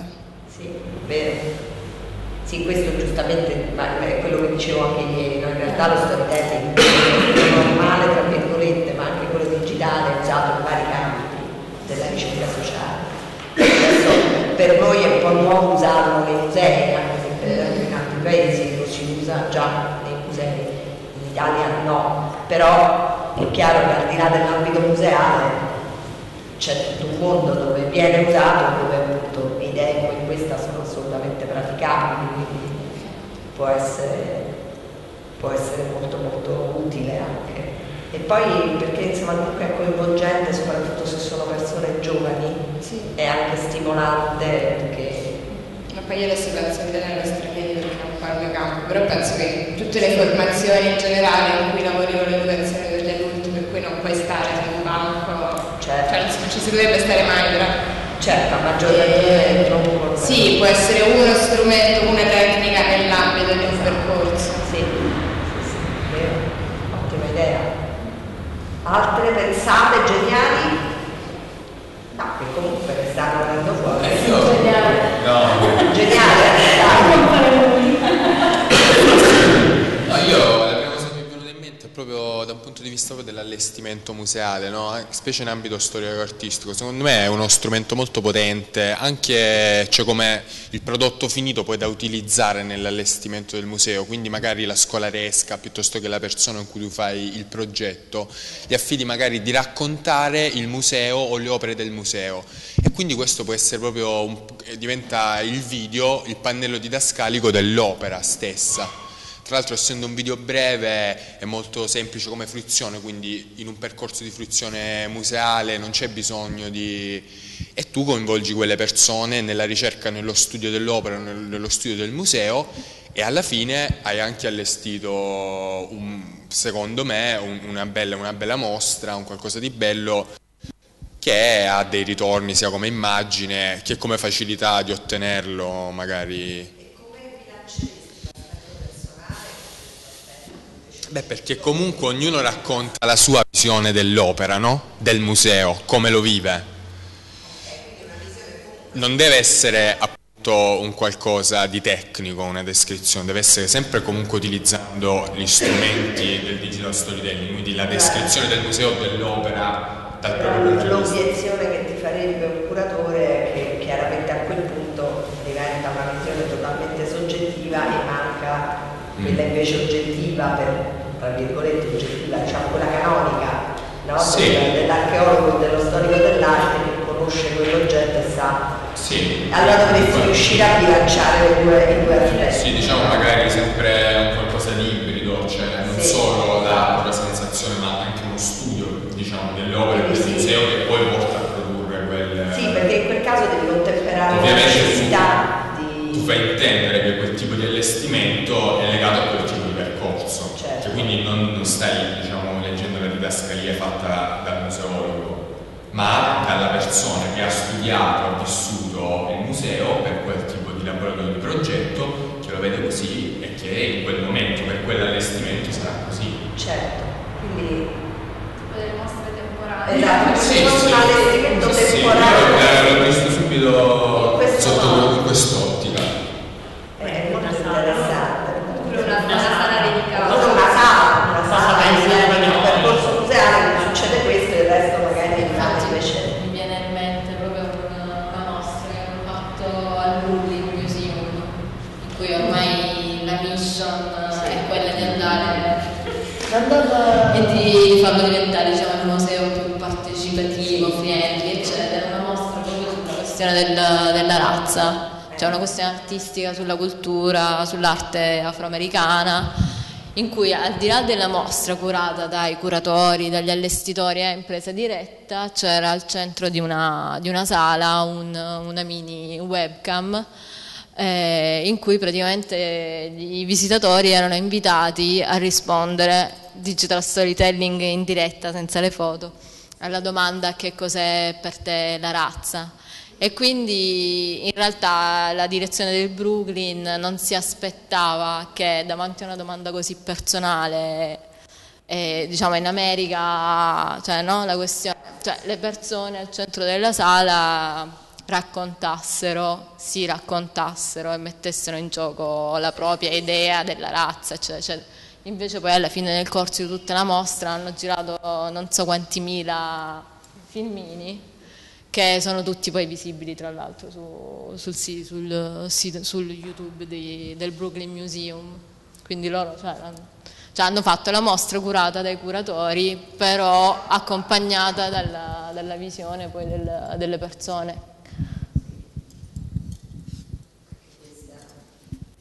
È un ottimo modo di bilanciare il criterio oggettivo comunque specialistico, diciamo se non oggettivo, con invece la sensazione, le sensazioni del pubblico, no? però è un modo di ascoltare i visitatori, senza per questo ampliare completamente ai propri saperi specialistici, perché lì poi ovviamente si, si aprirebbe un altro problema. insomma. Penso per esempio a questo teatro di comunità che c'è a Rotterdam, in un quartiere ad alta densità di cittadini migranti, che era perennemente vuoto. Qualche anno fa, è arrivata questa nuova direttrice che ha detto qui non ci viene nessuno, ma noi perché esistiamo? Noi otteniamo fondi dal comune, per, che cosa? Per svolgere un servizio alla cittadinanza, quindi però se i cittadini non ci vengono qui c'è qualcosa che non va. E allora ha cominciato a eh, diciamo, andare in giro per questo quartiere, lei e i suoi giovani ricercatori, a cercare di capire quale fosse il problema. E il problema era voi rappresentate cultura che non, ci appartiene, che non è la nostra, che, che non ci interessa, quindi per quale motivo dovremmo venire a teatro a vedere cose che non sono le nostre e che in qualche modo non ci rappresentano. E allora lei ha fatto una scelta drastica, il 50% della programmazione del teatro è adesso nelle mani della comunità che decide che tipo di performance devono essere eh, presentate nel teatro in ogni stagione teatrale. Chiaramente lei dice anche sono a compartimenti stagni, nel senso che la volta in cui c'è la- la- il giovane scrittore drammaturgo turco, il teatro è pieno soltanto di turchi, gli olandesi non ci vanno, così come il giorno che invece è dedicato alla programmazione classica di tipo europeo ci sono soltanto gli olandesi e non ci sono i turchi piuttosto che i magrebini, quindi in realtà non c'è mai una um, comunione, diciamo, né scambio da questo punto di vista. Però lei eh, sostiene che questo possa forse un giorno avvenire, perché lei dice il problema è che comunque eh, a teatro vengono soprattutto persone di una certa età, in quel caso, e sono persone che hanno un problema di lingua, per cui c'è anche la barriera linguistica no? che impedisce la comunicazione. Lei dice con le nuove generazioni forse riusciremo a ibridare le culture in qualche maniera e comunque anche se rimane così questi sono cittadini tanto quanto gli altri, quindi hanno diritto ad avere spettacoli che siano di loro interesse, che li rappresentino e che a loro faccia piacere vedere. Ovviamente questa esperienza ha suscitato un vespaio ve lo potete immaginare, nella città, nel senso che adesso il teatro è sempre pieno, gli altri teatri della città sono in crisi, quando vanno da lei a dire ma come mai tu è sempre pieno, lei dice ma io ho provato a fare questa, diciamo, a mettere in atto questa strategia, volete provarci? E loro è eh no perché sennò poi gli olandesi non ci vengono più. Quindi comunque rimane questa forte barriera culturale di istituzioni che sono frutto di quella cultura e che tutto sommato vogliono rimanere frutto di quella cultura. No? E questo vale per i musei, vale per i teatri, vale per tutte le istituzioni culturali. Il tema è estremamente delicato, per cui non si può passare da un estremo all'altro, secondo me, bisogna trovare delle forme di compromesso in cui piano piano magari si capisca che ci sono benefici che possono valere per gli uni e per gli altri, no? che ci sono forme di, come dire, ibridazione, ma non solo, anche di riconoscimento di altre culture che possono essere utili per tutti. E qui, anche qui, appunto, al di là delle culture dei migranti, c'è la solita distinzione tra il sapere specialistico e i poveri mortali. E anche qui c'è una forte resistenza rispetto all'intervento dei poveri mortali nei templi del sapere specialistico. Per cui questa cosa che diceva lui, e ho anche questa appunto delle persone che registrano la propria idea di razza, è fantastico perché tu lì hai un doppio binario, da una parte hai il sapere specialistico dell'antropologo, del museologo che ti dice che cos'è la razza secondo i sacri crismi e dall'altra hai le risposte delle persone che ti dicono quello che per loro significa la parola razza. Riuscire a tenerle insieme trovo che sia il compromesso migliore, perché sono tutti e due punti di vista che devono essere tenuti insieme, no? anche se poi è ovvio che l'istituzione museale in quanto tale è nata grazie al sapere specialistico, quindi non puoi nemmeno completamente disperderlo o far finta che non ci sia o superarlo totalmente, forse, no? dipende poi anche dai, dai contesti. Voi altre idee? Esulando un po' dall'ambito culturale stretto, volevo sapere se questo strumento viene utilizzato anche, so, nelle case famiglia, nei centri antiviolenza, se è utile e quali ricadute insomma, può avere. Allora, guarda, un'esperienza che so per certo che è stata eh, studiata e valutata è un'esperienza del sistema sanitario inglese che ha usato il digital storytelling per valutare il grado di soddisfazione degli utenti, mettiamola così, ma in realtà era più profondo perché soprattutto tendeva a, eh, ad analizzare il grado di coinvolgimento degli stranieri rispetto al sistema sanitario inglese. E quello è un, uh, uno studio che è stato fatto in maniera completa, diciamo, dal, dall'inizio, dalla pianificazione fino alla valutazione mentre invece ci sono esperienze spot su aspetti diciamo sociali come quelli che citavi tu che io sappia però non c'è un percorso valutativo completo che sia stato fatto. Dopodiché magari invece è stato fatto più di recente ma in ogni caso tutto quello che eh, viene realizzato a livello di mondo anglosassone è online. Quindi sicuramente ricerche di questo genere le trovate. In Italia penso che siamo abbastanza indietro sull'uso, viene usato a livello pedagogico, viene usato in un paio di facoltà di pedagogia, lo utilizzano come strumento, danno ampio spazio allo strumento come appunto strumento pedagogico, però in termini di ricerca sociale non credo che siamo allo stesso livello di altri paesi. Eh, certo, assolutamente, infatti, per questo viene usato lì, con questa, con questa finalità esattamente. Perché, ripeto, rispetto all'intervista, non so con chi ne parlavo ieri, ma rispetto all'intervista, qui si va molto più in profondità e l'intervista spesso ha come connotazione negativa il fatto che l'intervistato tende a dare la risposta che lui pensa che l'intervistatore si aspetti. C'è un po' questa tendenza a voler far contento l'intervistatore dando quindi la risposta che ci si aspetta da lui, no?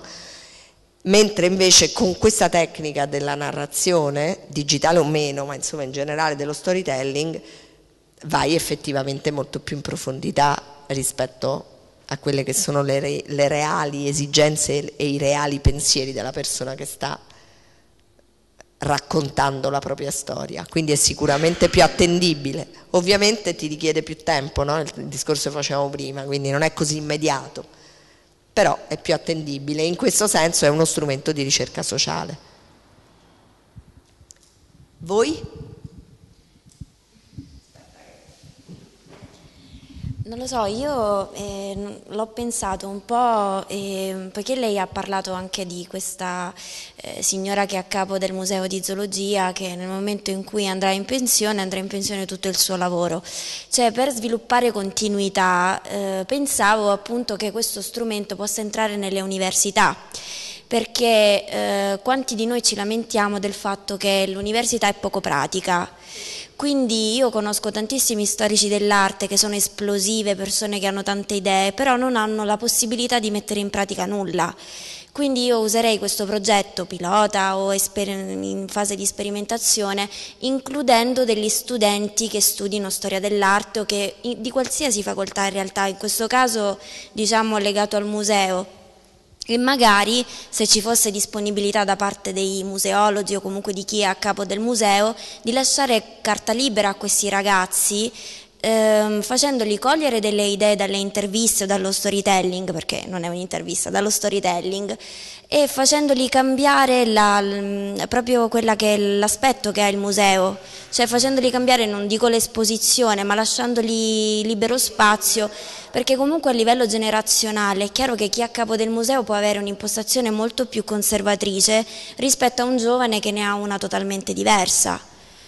Oppure la userei in una facoltà come sociologia o, cioè, o, come psicologia per fare psicoterapia, cioè, potrebbe essere molto interessante utilizzato come strumento di studio proprio, sì. Pensavo... Oppure c'è un'altra cosa che farei, sì. Eh, esistono le residenze artistiche che sono dei luoghi dove tu convivi per dei giorni con delle persone che possano venire da diverse estrazioni, studio e utilizzarlo, cioè proprio come strumento anche di condivisione delle proprie storie, delle proprie realtà e poi magari fare proprio di questo un blog, non lo so, anche un diario di bordo, cioè un qualsiasi cosa, cioè potrebbe essere uno strumento molto più trasversale, no? come dicevamo del resto dall'inizio. Credo che lo sia in altri contesti, sì. credo vale la pena, quando si parla dell'università in effetti è interessante, varrebbe la pena capire già esperienze del genere, non ne ho idea, cioè se sia utilizzato questo strumento. Sì, perché ripeto, io ho avuto occasione di conoscere sì. tanti storici dell'arte le vedo persone molto frustrate perché non hanno la possibilità in una città come Roma del resto di avere eh, spazio alle proprie idee, di lasciarsi comunque, eh, cioè mi dicevano è difficile che ti facciano fare un tirocinio, se te lo fanno fare non hai comunque parola ovviamente, cioè ti limiti semplicemente a eh, che ne so, a, a, presentare oppure fare il cicerone del museo magari o a presentare una piccola esposizione, però non hanno mai veramente un, uno spazio reale di, di proposta di, di, di, qualcosa, insomma. L'utilizzo di questo strumento di agarazia? No, no, no, no, potrebbe essere però all'interno di un percorso universitario perché è chiaro che tu, cioè, difficile che ci sia, però magari in questo modo li formi e fai capire che esistono tanti altri modi di usare l'arte, cioè che può essere veramente Sì, una novità soprattutto in certi contesti. Io non so perché pensavo un'altra cosa molto più, cioè un pochino traendo ispirazione dalla ragazza, che ora non ricordo il nome, vabbè. E, ok, e, e dicevo, Ginestra, Ginestra o Ginevra? Ah, non lo so. Eh, non, non so, e parlava comunque del fatto delle- degli immigrati di questo genere, cioè non lo so, magari insinuarsi in un gruppo, cercare comunque sì di, di creare un tessuto di tranquillità, cioè entrarci in contatto, poi portarli in un museo, far sì che loro scelgano un'opera dell'esposizione e chiedere loro di spiegarla a loro modo tramite lo storytelling e fare in modo che loro si facciano portavoci, quindi mettere questa installazione e far spiegare il loro punto di vista, che è quello di un'altra cultura, non prettamente italiana, a una persona, quindi farli diventare quasi presentatori della mediatori, sì. Questa è un'ottima idea. Volevo fare una piccola premessa dicendo che sono venuta pensando che fosse un corso diciamo, molto più legato diciamo, al marketing storytelling, cioè una- molto più legato diciamo, proprio agli aspetti eh, promozionali e pubblic- pubblicitari. Quindi è stata una piacevole scoperta vedere invece quanto vada di più in profondità. Ehm, siccome da lì ero partita, diciamo, avevo già eh, in mente di, di- di seguire un percorso di questo tipo, mh, pensavo di mh, utilizzare questo strumento per aggiungere diciamo, delle cose che già sono state fatte un- con un festival con cui lavoro dove sì, è un festival che si occupa di bande, bande musicali. E quindi sono stati già fatti dei percorsi eh, con le scuole, principalmente, in cui si chiede di raccontare no? Cioè l'es- l'esperienza che i ragazzi hanno avuto con le bande, cioè di recuperare un po' un lavoro appunto di recupero della memoria popolare e folcloristica legata a questo fenomeno. E già è stato chiesto ai ragazzi diciamo, di andare alla ricerca di fotografie, di oggetti, di mm, qualcosa che possa raccontare eh, queste forme di memoria. Quindi pensavo che potrebbe essere uno strumento interessante per eh, scendere diciamo, ancora più in profondità, anche perché come è un utilissimo strumento poi pure di indagine per i ragazzi stessi rispetto a tutta una serie di temi. E in più mi sembrava interessante il discorso che è uscito ieri eh, rispetto diciamo, alla- all'aspetto intergenerazionale.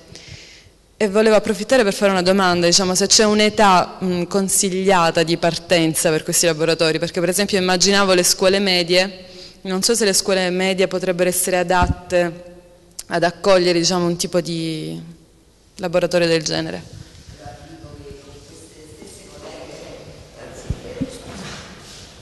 Con queste colleghe con cui abbiamo eh, fatto il, progetto dei musei, il progetto appunto sul digital storytelling nei musei, abbiamo, a febbraio abbiamo mandato una- un'altra application per fare un progetto simile nelle scuole elementari.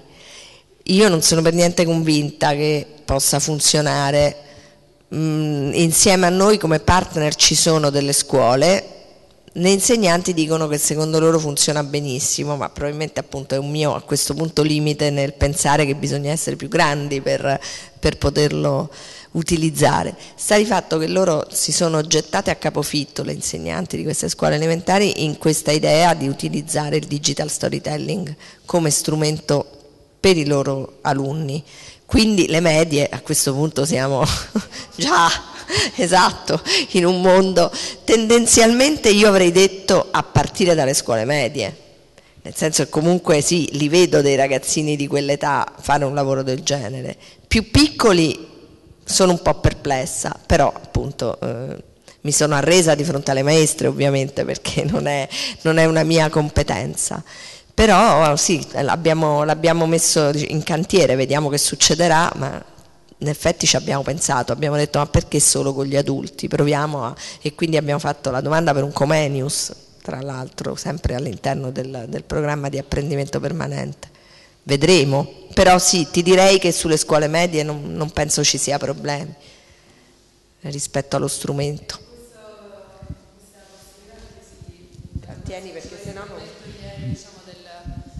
Eh, la possibilità di far interagire i ragazzi con mm, le persone più anziane, mm, cioè in che modo potrebbe essere sviluppata? Diciamo, dovrebbe esserci una collaborazione fin dall'inizio entrambi dovrebbero partecipare diciamo, a, a, tutti questi laboratori e giochi oppure dovrebbero essere due percorsi separati in cui uno si occupa, potrebbe essere, cioè nel senso le strade sono diverse e possibili oppure c'è...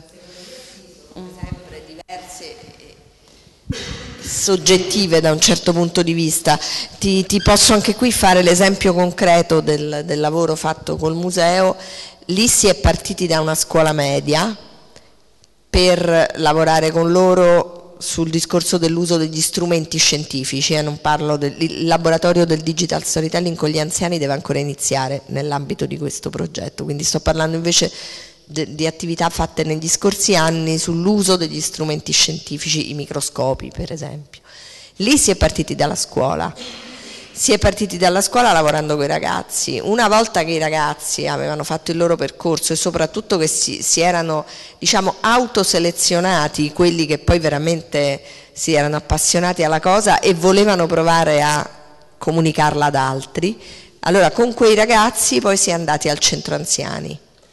E lì chiaramente il discorso del dialogo intergenerazionale ha funzionato nel senso che il ragazzo spiegava all'anziano come usare la, la centrifuga tipo quelle di CSI per il DNA, insomma, queste cose qui, piuttosto che il microscopio, insomma, tutti questi strumenti per me assolutamente astrusi e quindi anch'io dovevo fare giustamente il mio laboratorio di formazione e lì comunque ha funzionato, cioè ragazzi delle medie con persone del centro anziani.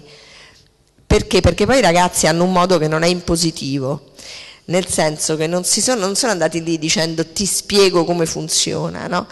ma erano lì che dicevano ma se vuoi ti faccio vedere quello che ho imparato io. No? E, e, quindi l'anziano non si sentiva trattato diciamo sminuito dal fatto di non sapere, di non conoscere, di... mentre invece con una persona adulta spesso gli anziani hanno questa resistenza si vergognano di dire non capisco, non lo so, non, non sono capace. No? Con i ragazzi invece questa cosa non si è creata, forse perché l'atteggiamento dei ragazzi poi non è appunto quello di una persona adulta che dice vieni ti spiego io come si fa, no? era molto più dialogica la cosa ed è stato molto bello quindi l'idea adesso con lo storytelling è di fare lo stesso, nello specifico i ragazzi però interverranno nella fase di montaggio perché abbiamo pensato che se li mettiamo insieme da subito c'è il rischio che poi la storia, diciamo, siccome poi non puoi pretendere che lo stesso ragazzo faccia la propria storia e lavori alla storia di un'altra persona, allora diventa poi, c'è il rischio poi di contaminare le due storie. Invece abbiamo pensato facciamo fare il laboratorio di narrazione agli anziani. Nel momento in cui c'è da montare la storia, quindi selezionare le foto lo possono fare gli anziani, ma la scannerizzazione delle foto in bianco e nero ovviamente magari le facciamo fare ai ragazzi insieme alle persone del museo e il montaggio delle storie anche. Quindi, e sono gli stessi ragazzi che hanno partecipato, cioè la stessa scuola diciamo, sperabilmente i ragazzi sono andati avanti nel frattempo e non sono rimasti ancora lì, anche se chiaramente in queste situazioni, in queste scuole c'è appunto la mia amica Elisabetta che mi dice io sono sei anni che vedo sempre gli stessi ragazzi, sempre alle medie diciamo, no? perché sono situazioni un po' disperate per cui succede anche di questo, però insomma si spera che in questo caso siano andati avanti. Ecco. Ma comunque funziona, in questo modo funziona, poi si può provare anche in altri, cioè nulla vieta di sperimentare forme diverse, io ti dico quella che è l'esperienza diciamo diretta che ho avuto.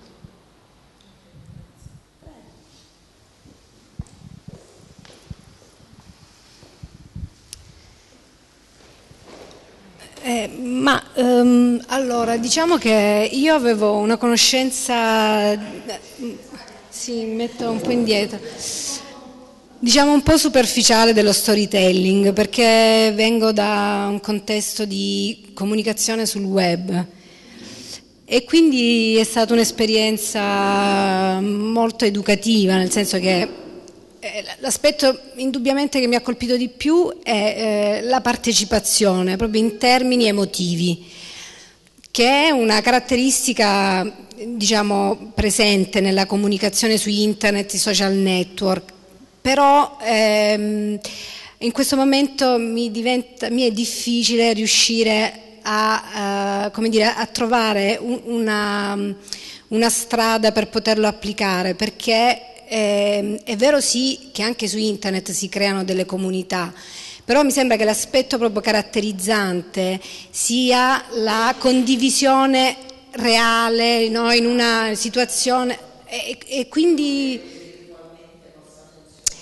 cioè, in realtà mh, mh, eh, sui social, non so, Facebook, a me viene in mente Facebook, mh, che è un luogo dove la gente eh, condivide se stesso, però in qualche modo è mediato, perché se c'è una persona che caratterialmente è ritrosa, decide di condividere quello che vuole. In una situazione del genere sì, può fare la stessa operazione, ma è molto più complicato perché cioè, hai degli...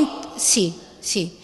E quindi eh, è interessante, cioè una cosa mh, diventa interessante sì, se uno riesce a trovare una comunità disposta a farlo, però già se sei disposto vuol dire che no, probabilmente anche l'aspetto più stimolante in una situazione del genere è riuscire a trarre eh, delle... Mh, eh, contributi autobiografici anche da chi non è predisposto alla comunicazione. Cioè io almeno questi sono gli aspetti che mi hanno colpito di più. E quindi diciamo che adesso come adesso, sia perché lavoro in internet e poi tra l'altro uso lo strumento per un altro ambito che è quello del turismo che anche lì diventa complicato, anche lì eh, applicarlo perché cosa, come fai? Cioè, forse bisognerebbe sì, trovare un'applicazione, cioè studiarlo un attimo, rifletterci e trovare il modo di... Eh, come vedi la Puglia? Sì, no? sì, c'è cioè, strumento di marketing però è sulla esatto, però è personalità. Eh sì, un'intervista. Oppure... No, fare sempre in profondità, magari raccontando esperienze personali rispetto al tema Puglia. Diventa uno spot. Sì, però no, infatti non dovrebbe diventare quello, dovrebbe rimanere una narrazione personale. molte delle pubblicità siano basate comunque anche sullo strumento. Esatto, sì, sì, sì. È il solito discorso, come lo selezioni, campione, se tu selezioni persone che sai essere innamorate della Puglia, allora ottieni lo spot. Se tu fai una selezione diciamo seria, trasversale, trovi pure quelli che ti dicono. Però anche quello può diventare uno strumento di marketing. Assolutamente, no, no, ma infatti le implicazioni in questo settore sono. Sì, indubbiamente come strumento di promozione, cioè c'è l'aspetto diciamo dello strumento di promozione, però e poi eh, no, perde, eh sì, perde perché insomma poi c'è tutto il contesto relazionale che mi sembra che sia molto forte, quella è la potenza del, dello storytelling. È sempre l'espressione personale, eh sì. quindi non può essere la produzione no. turistica di un luogo, certo, no, sono d'accordo, è vero. Quindi non so, eh, ci rifletterò poi se, dovesse mai riuscirò a trovare un'applicazione, diciamo che sì, vi farò sapere. Sì. L'unico modo per cui forse potrebbe funzionare su internet, però si perderebbe comunque l'aspetto di relazione tra il gruppo, diciamo, perché poi alla fine immagino che anche nel gruppo si crei ovviamente un certo tipo di rapporto come utilizzare mh, le piattaforme internet come strumento per formare i formatori. Ma parto da un aneddoto personale. E, mh, qualche mese fa con Antonio abbiamo frequentato online un corso da un sito coursera.org che eh, sostanzialmente riunisce diverse università che offrono corsi universitari online e gratuitamente, si riceve un attestato, ultimamente sono entrate anche delle università italiane ma per lo più sono straniere. Questo qui è un'università del Michigan, non mi ricordo. Comunque è molto è targato eh, per venire incontro diciamo, all'uso eh, diciamo, degli utenti. Si basa ovviamente sul concetto di, le, di learning, però eh, tu che fai? Segui delle lezioni che sono dei video, hai dei compiti, fai ogni settimana dei compiti, segui un percorso di qualche settimana e poi alla fine un attestato. E ce ne sono praticamente di tutte le materie. Moltissimi sono partiti questi corsi soprattutto nell'ambito dell'ingegneria, dell'informatica eccetera, però sono moltissime anche le materie sociali, artistiche, ultimamente abbiamo trovato anche una di archeologia su questa cosa. E, e insomma, l'unico modo per cui una cosa del genere potrebbe funzionare è creare insomma, una piattaforma del genere, un corso online di digital storytelling in cui io metto il video, cioè quello che abbiamo fatto noi in questi due giorni si fa in un percorso di qualche settimana, però uno si perde l'ambito relazionale e due vai a, a trovare gente che è interessata a questa cosa, quindi veramente per formare i formatori però ovviamente eh, non c'è la strategia che si può essere di marketing o promozionale dietro, non lo so. Un'attività formativa, quindi non un'attività di marketing. Vabbè, ma come tutti gli strumenti poi può essere piegato a usi diversi. E quello di cui abbiamo parlato in questi giorni è l'uso per il quale è nato ed è stato pensato. Dopodiché, siccome siamo tutti molto creativi, poi alla fine è chiaro che lo stesso strumento può essere piegato a fini diversi, ma diventa un'altra cosa, no? Mm, si snatura l'obiettivo principale, direi, quindi cambia un pochettino. Altre idee, suggestioni, pensieri in libertà che vi siano venuti in mente? Eh, ieri... Mm. No, te lo, no, no, te, te, sto interrotto perché in effetti è una domanda che torna, anche questa è stata un, una ricorrenza, diciamo. Quanto dovrebbe durare? Bella domanda, nel senso che dipende, dipende da, dalle persone con cui lavori, essenzialmente. Perché? Perché eh, se parliamo del corso per formare i formatori che io ho fatto appunto nell'ambito di quell'altro progetto europeo è durato dieci giorni eravamo 20 persone, con un formatore ogni tre di noi, che ci dava una mano, ci spiegava, soprattutto sulla parte tecnica. Quindi, però eravamo lì da mane a sera, come si dice, eh? chiusi dentro in questa associazione turca bellissima, peraltro tutto un ambiente di tappeti, c'era tè, ogni tavolino c'era il tè, tappeti dappertutto, un ambiente ovattato, fantastico, bellissimo, però veramente ci chiudevano lì la mattina e ci liberavano la sera, quindi insomma alla fine abbiamo prodotto le nostre storie, ma perché veramente non avremmo potuto fare altro, nemmeno volendo. E quindi è stato un corso intensivo, diciamo. Ora, questi, queste attività invece del Museo Civico di Zoologia e degli altri musei che lavorano al, al progetto europeo, dureranno dai 6 agli 8 mesi. Perché però? Perché parliamo di pubblici svantaggiati socialmente, quindi soprattutto di detenuti giovani o adulti, quindi ovviamente in carcere abbiamo difficoltà ad andare tutti i giorni per più di due ore, non ci si va tutti i giorni e non ci si va per più di due ore in ogni caso, ogni volta. E allora chiaramente il tempo si dilata. Pure gli anziani del centro anziani non puoi pensare di coinvolgerli su base giornaliera, perché poi comunque c'è anche proprio un limite no, di attenzione. Di... Poi ieri, insomma, alcuni di voi erano provati dal, dallo scavo, diciamo, introspettivo dopo gli esercizi, no?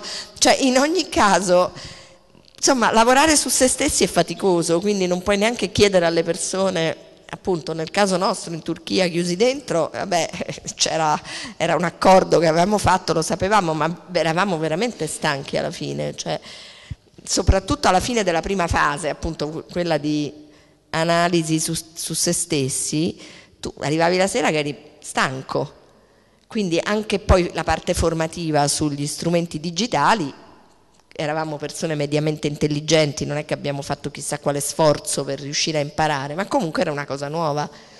Alla fine eravamo stanchi, per cui devi calcolare tutto questo, non puoi pensare di cavartela in... Con i ragazzi che magari si stancano di meno e lo strumento digitale ovviamente lo maneggiano molto meglio di noi, forse fai prima, però forse è più difficile la parte 1, la parte di indagine, scavo su se stessi, no? lì forse ti ci vuole un po' più di tempo con i ragazzi, con gli adolescenti, immagino, non lo so perché non ho mai lavorato con adolescenti. Insomma, dipende, con pubblici eh, occasionali non lo puoi fare, cioè lo devi fare con un pubblico, con un, pubblico, con un gruppo che sia selezionato, costituito e deciso a monte, insomma.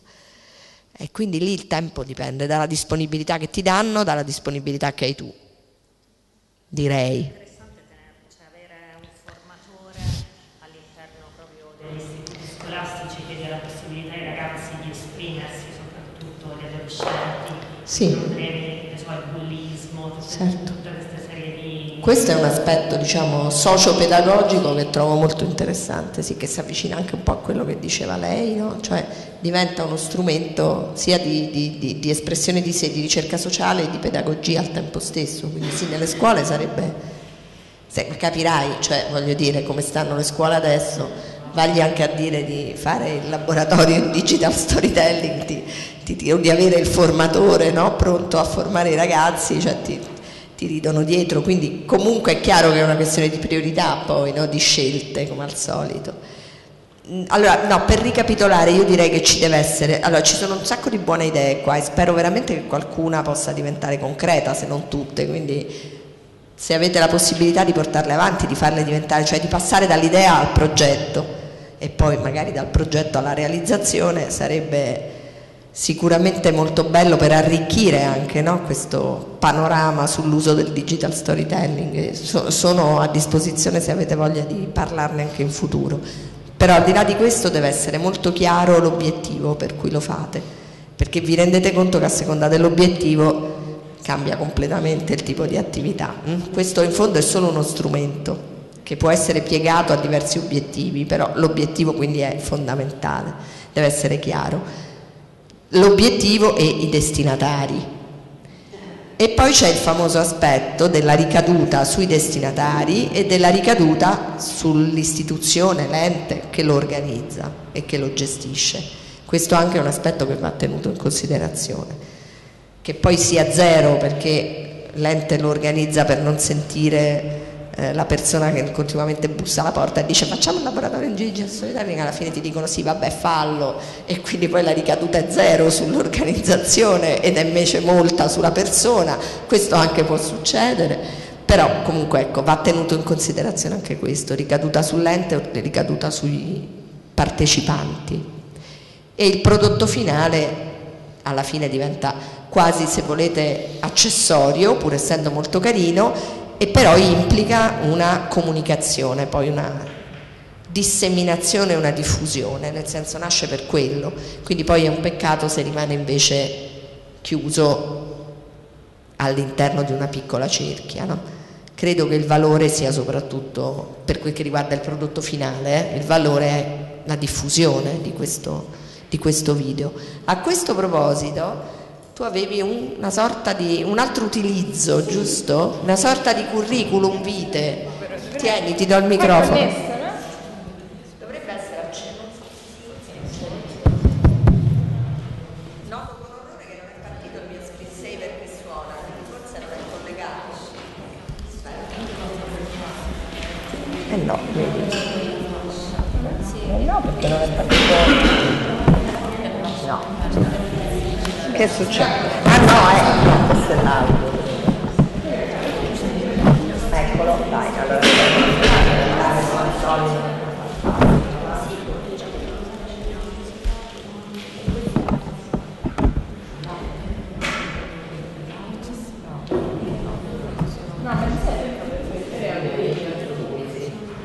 Allora, questa è sempre la mia bellissima foto.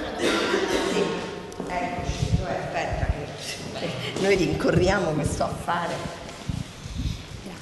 Allora, mi chiedevo se eh, fossero già stati realizzati dei progetti sul digital storytelling nell'ambito museale o comunque culturale legati all'accessibilità per le disabilità sensoriali.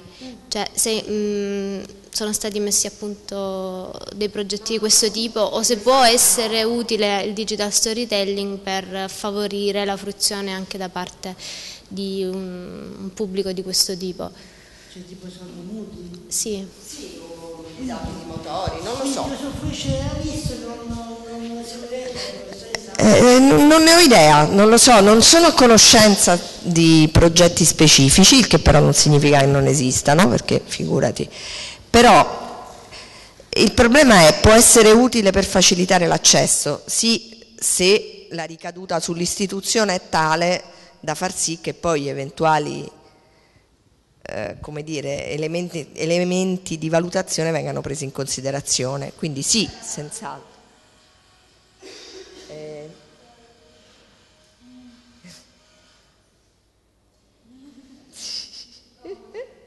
Vai. Ehm, sicuramente sì, dopodiché sulla fruizione, ecco per esempio sul disabile non vedente o sul disabile sordomuto, uno strumento del genere, cioè che, che non lo so perché non sono un'esperta di disabilità fisiche, però mi domando, questo è uno strumento che usa video, audio, allora poi magari la ricaduta è sugli altri, cioè No, sì, certo, forse il non udente usando il linguaggio dei segni sì, ma il non vedente alla fine ha soltanto l'aspetto...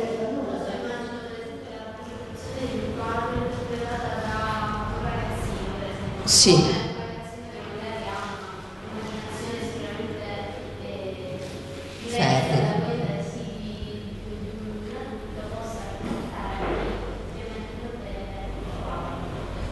Ok, cioè quindi tu dici un racconto per un non vedente fatto... mm.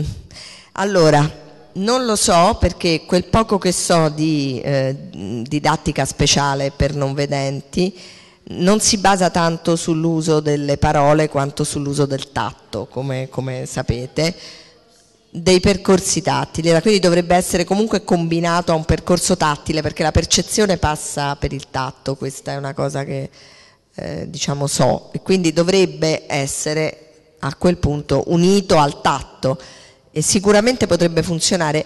Io sto lavorando adesso al riallestimento del Museo Omero di Ancona, che è il museo per non vedenti, il Museo Nazionale per non vedenti, e in effetti io mi occupo de- dei testi scritti che poi loro tradurranno in braille, quindi non mi occupo della parte specifica per i non vedenti, però eh, sento diciamo, le colleghe che invece lavorano con i non vedenti in maniera specifica dire che eh, stanno progettando appunto dei percorsi multisensoriali in cui chiaramente al tatto uniscono le stimolazioni sonore, quindi anche un racconto sicuramente potrebbe essere inserito e a quel punto diventa vabbè, un racconto che può essere fatto, tu dici, da chiunque purché con una, magari un linguaggio diverso da un linguaggio canonico, sì, senz'altro. Per i non eh, udenti in realtà il video viene già utilizzato, proprio perché il non vedente eh, legge no, il linguaggio dei segni e quindi ci sono già musei dove ci sono traduzioni video diciamo per, eh, per non udenti, per esempio le, le audioguide per non udenti in realtà sono dei video in cui... Come? Certo, certo. Beh, penso quindi che sì, potrebbe essere uno strumento da utilizzare, potresti tranquillamente, certo, con gli utilizzi giusti, diciamo, con gli strumenti giusti, sì. Allora, dicevo, lei oggi mi parlava di un suo utilizzo personale, diciamo, del digital storytelling, cioè che poi alla fine è, è semplice, è intuitivo, però magari uno non ci riflette. Cioè, adesso non so, mm, rivedendolo, se, forse non rispetta tutte le caratteristiche formali dello storytelling, visto che io non sapevo cos'era quando l'ho fatto. Però eh, proprio ieri mi è venuto in mente che un mesetto fa dovevo fare un'application per uno stage e si chiedeva proprio un video di massimo tre secondi in cui tu raccontavi tre minuti. No. tre minuti in cui raccontare cosa avresti fatto se tu avessi ottenuto quello stage, che tra l'altro nessuno ti spiegava cosa dovevi fare in quello stage, cioè era una cosa abbastanza surreale, per cui io ho pensato ok, dico mi presento, monto delle foto che raccontano chi sono e vediamo come va, quindi il risultato potrebbe essere un po' simile. Che devo fare? Lo ignoriamo. e quindi si sente malissimo, eh, però io ve lo faccio vedere. No. Ah, tra l'altro avevamo tolto l'audio perché quindi ricominciamo da capo. Andiamo indietro. Rimettiamo l'audio.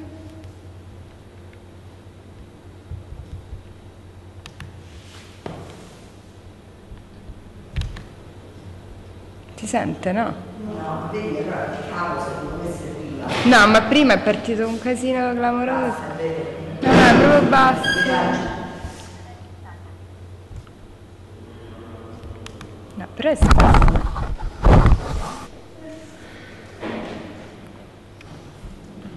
Qui è tutto il massimo.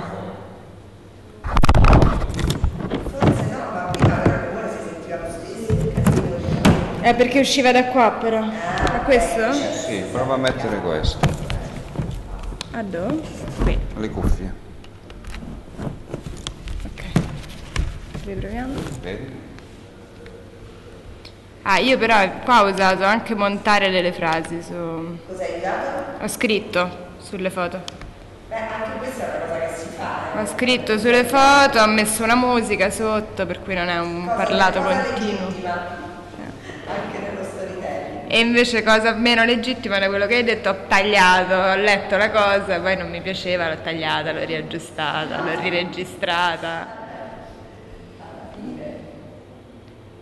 Vado?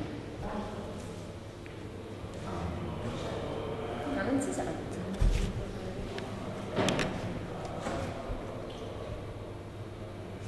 No. Vabbè, vi mando il link e ve lo guardate a casa. Collegarsi a palla. Sì, sarebbe questo è su YouTube. Quindi fondamentalmente tu racconti chi sei. Racconto chi sono, che è una università di EF, la scuola di lingua con l'associazione Erasmus, per cui ho capito che avrei dovuto viaggiare, che avrei dovuto a che fare con culture diverse, quindi ho parlato della mia esperienza, che ci sta. Certo. Quindi Lampedusa. Ma non solo, ci ho messo un po' varie cose. Questo per esempio è un rave di Palermo. Sempre un momento di condivisione, come sempre con mia di opportunità. Certo. Se la festa della ciclofficina riesce.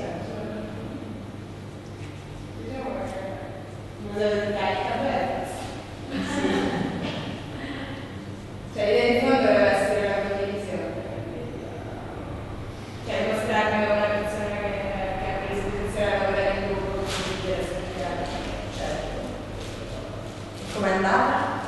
Lo sai, nada perché eravamo solo al mondo. Ah, il mondo è. Vabbè, c'è qua. C'è una scusa per mettermi a fare il San Vegas. Si è fermato. Comunque, questo è, è un altro uso poi alla fine, no? del, del nostro strumento, farsi un bel curriculum. Secondo me, mirato, però mirato è In realtà mi hanno detto, a me è sembrata strana, ma mi hanno detto che nel mondo anglosassone si usa parecchio questa cosa di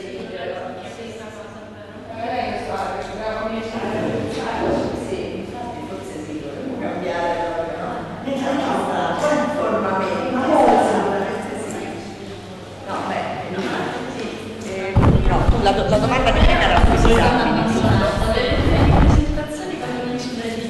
Quindi è uno strumento dai miei usi, diciamo, che però poi abbiamo circoscritto a, ad alcuni usi specifici per il settore culturale, pur avendo poi divagato in altri. Eh sì, sicuramente. Quello che noi abbiamo tralasciato per forza di cose in questi due giorni è l'aspetto puramente tecnico. Allora, io qua ovviamente immagino che voi siate bravissimi a usare questi strumenti qui. Voi avete esperienze pregresse nell'uso di, a parte lei che già mi dicevi che usi Sony Vegas, quindi sa di che cosa sto parlando. Voi avete già usato strumenti di questo genere, tu sì. Vabbè, cose simili. Va bene, quindi un minimo di competenza informatica. Invece questi, questi pure, che montano, smontano, tagliano.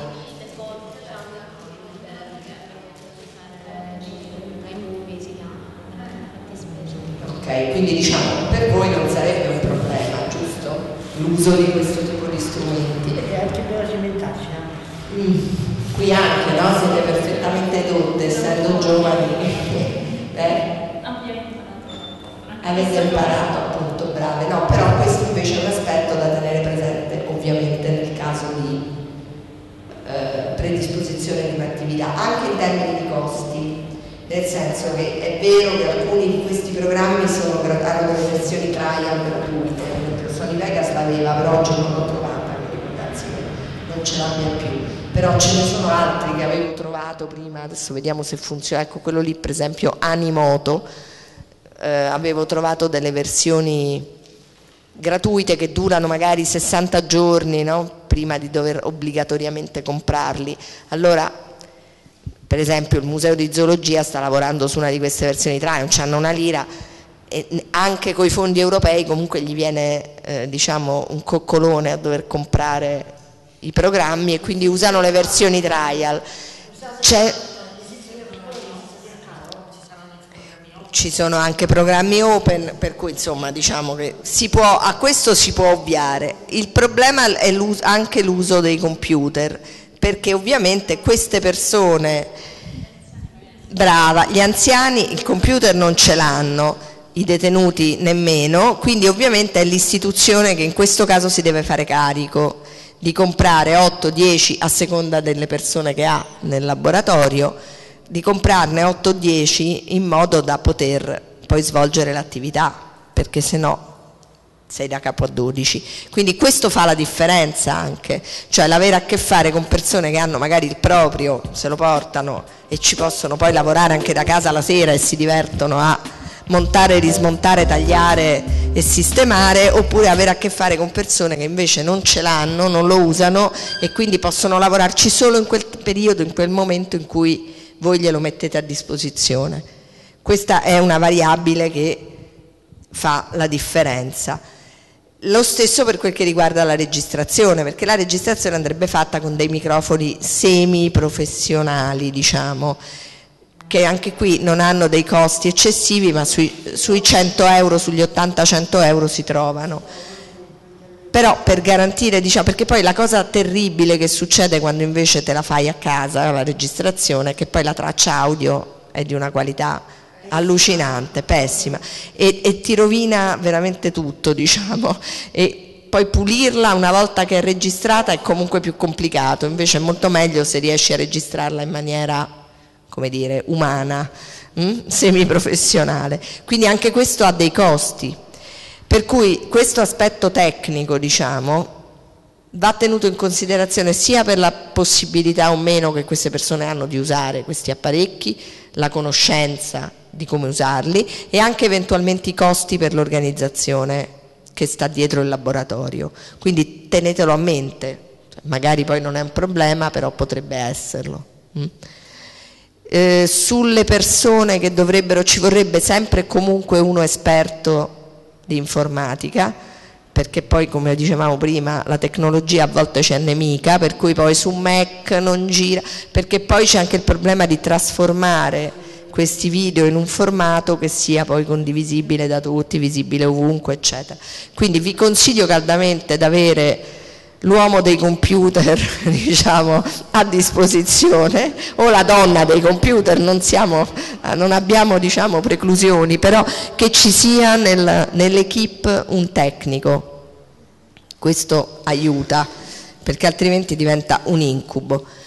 Sul numero di persone dell'equipe che debbano seguire il laboratorio, anche qui è un po' la stessa risposta che davo a te sulla durata, cioè dipende da quante persone avete, che comunque secondo me non dovrebbe mai superare la decina, perché se no, l'avete visto, insomma anche in fondo oggi da un certo punto di vista si lavora meglio rispetto a ieri che eravamo di più, avremmo dovuto dividerci in gruppetti per fare un lavoro, no, però essendo poi io da sola diventava difficile lavorare con gruppi diversi ma direi che una decina di persone è un numero giusto.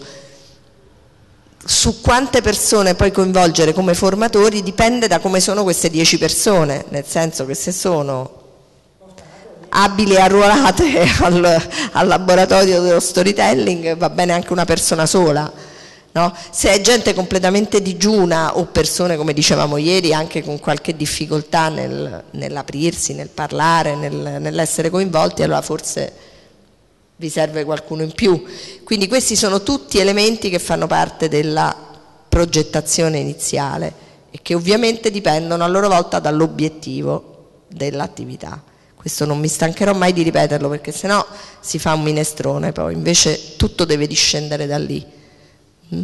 Poi direi che insomma sperimentando, anche facendo errori, poi le cose si fanno insomma, e si perfezionano, quindi sicuramente il primo corso magari non sarà perfetto, il secondo lo sarà, quindi da questo punto di vista direi senza problemi.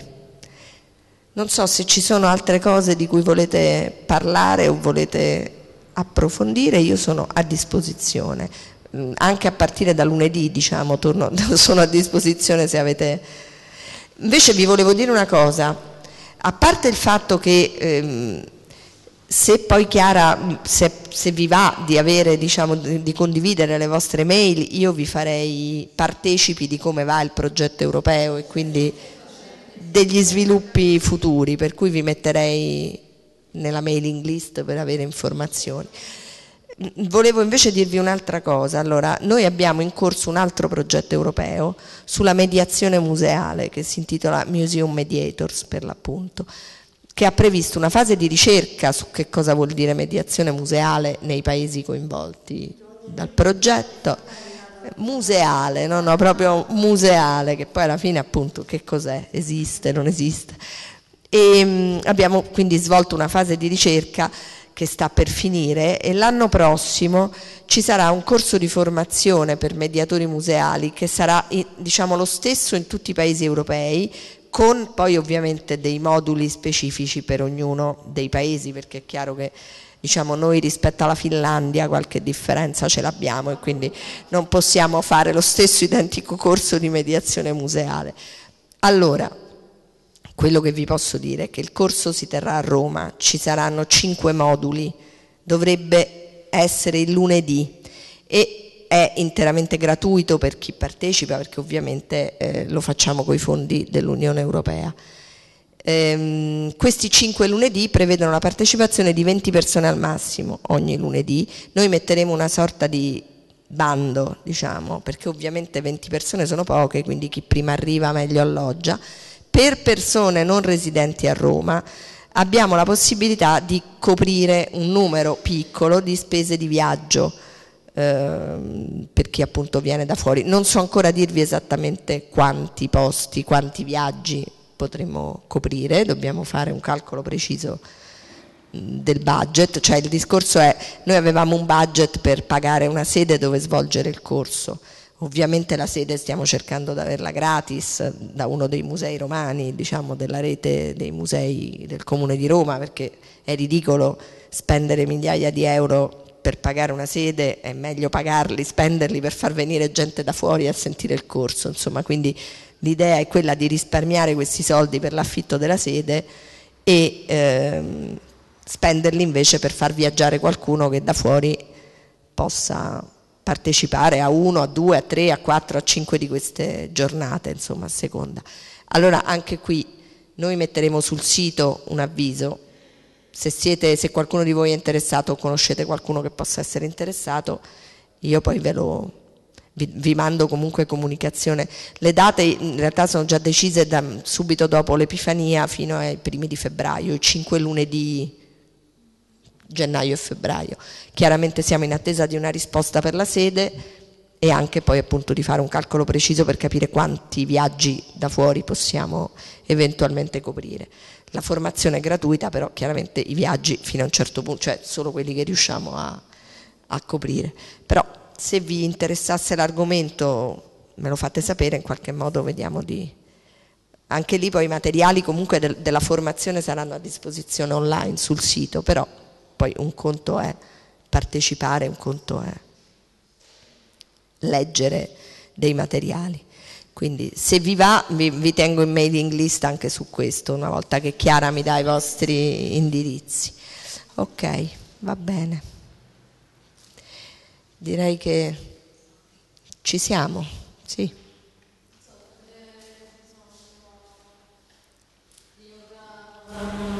riassunto delle puntate prossime. Ah, forse è brava, questa è una bella idea. In effetti, così ti dai una panoramica del... certo.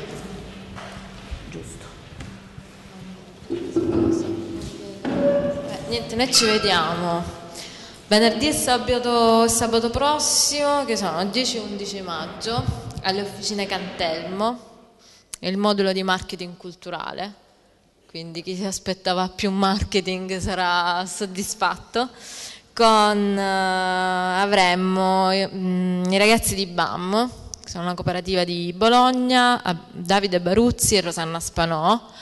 E il- l'11 avre- mattina avremmo ospite il responsabile della comunicazione digitale del Marti di Rovereto, Luca Melchionna, che ci parlerà proprio della strategia di comunicazione, in particolare digitale del, del Mart. Poi il poi il 3 invece sempre all'Officina Cantelmo, venerdì eh, terzo modulo Officina Cantelmo, venerdì e sabato 17 e 18 maggio. Gli orari sono sempre 9, 13 e 14 e 19, 14 19 per tutti i prossimi moduli. 15 19, sempre 16 ore a modulo.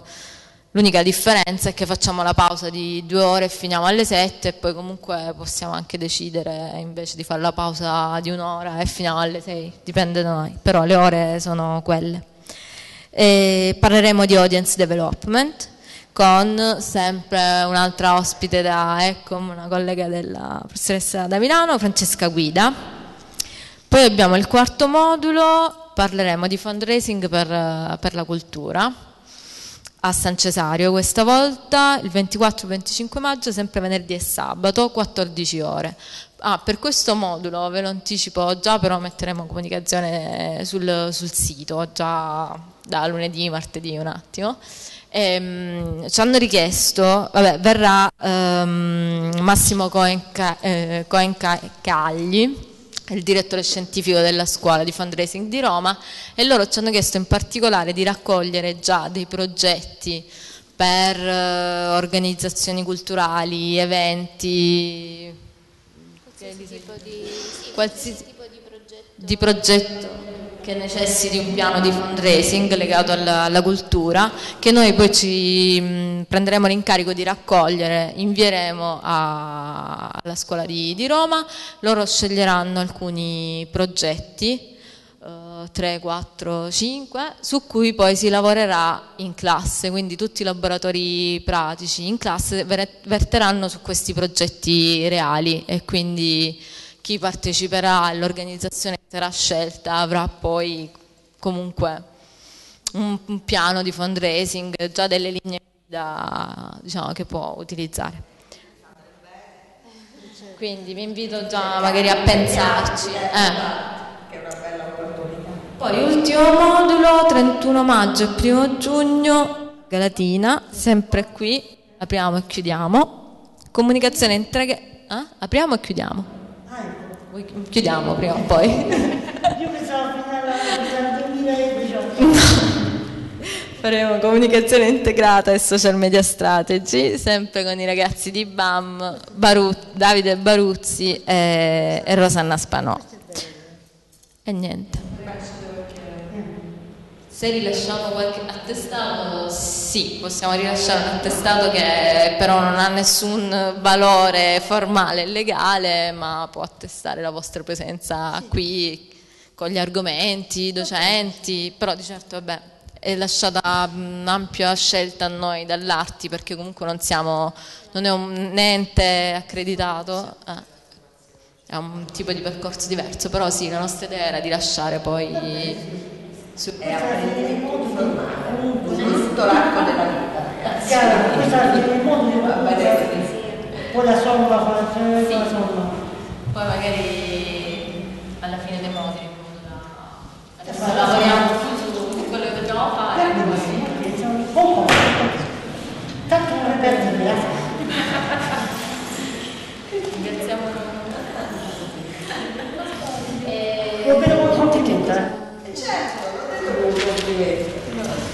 Allora vi invieremo tutto il materiale, il calendario e infine anche un piccolo questionario sulla valutazione di queste due giornate.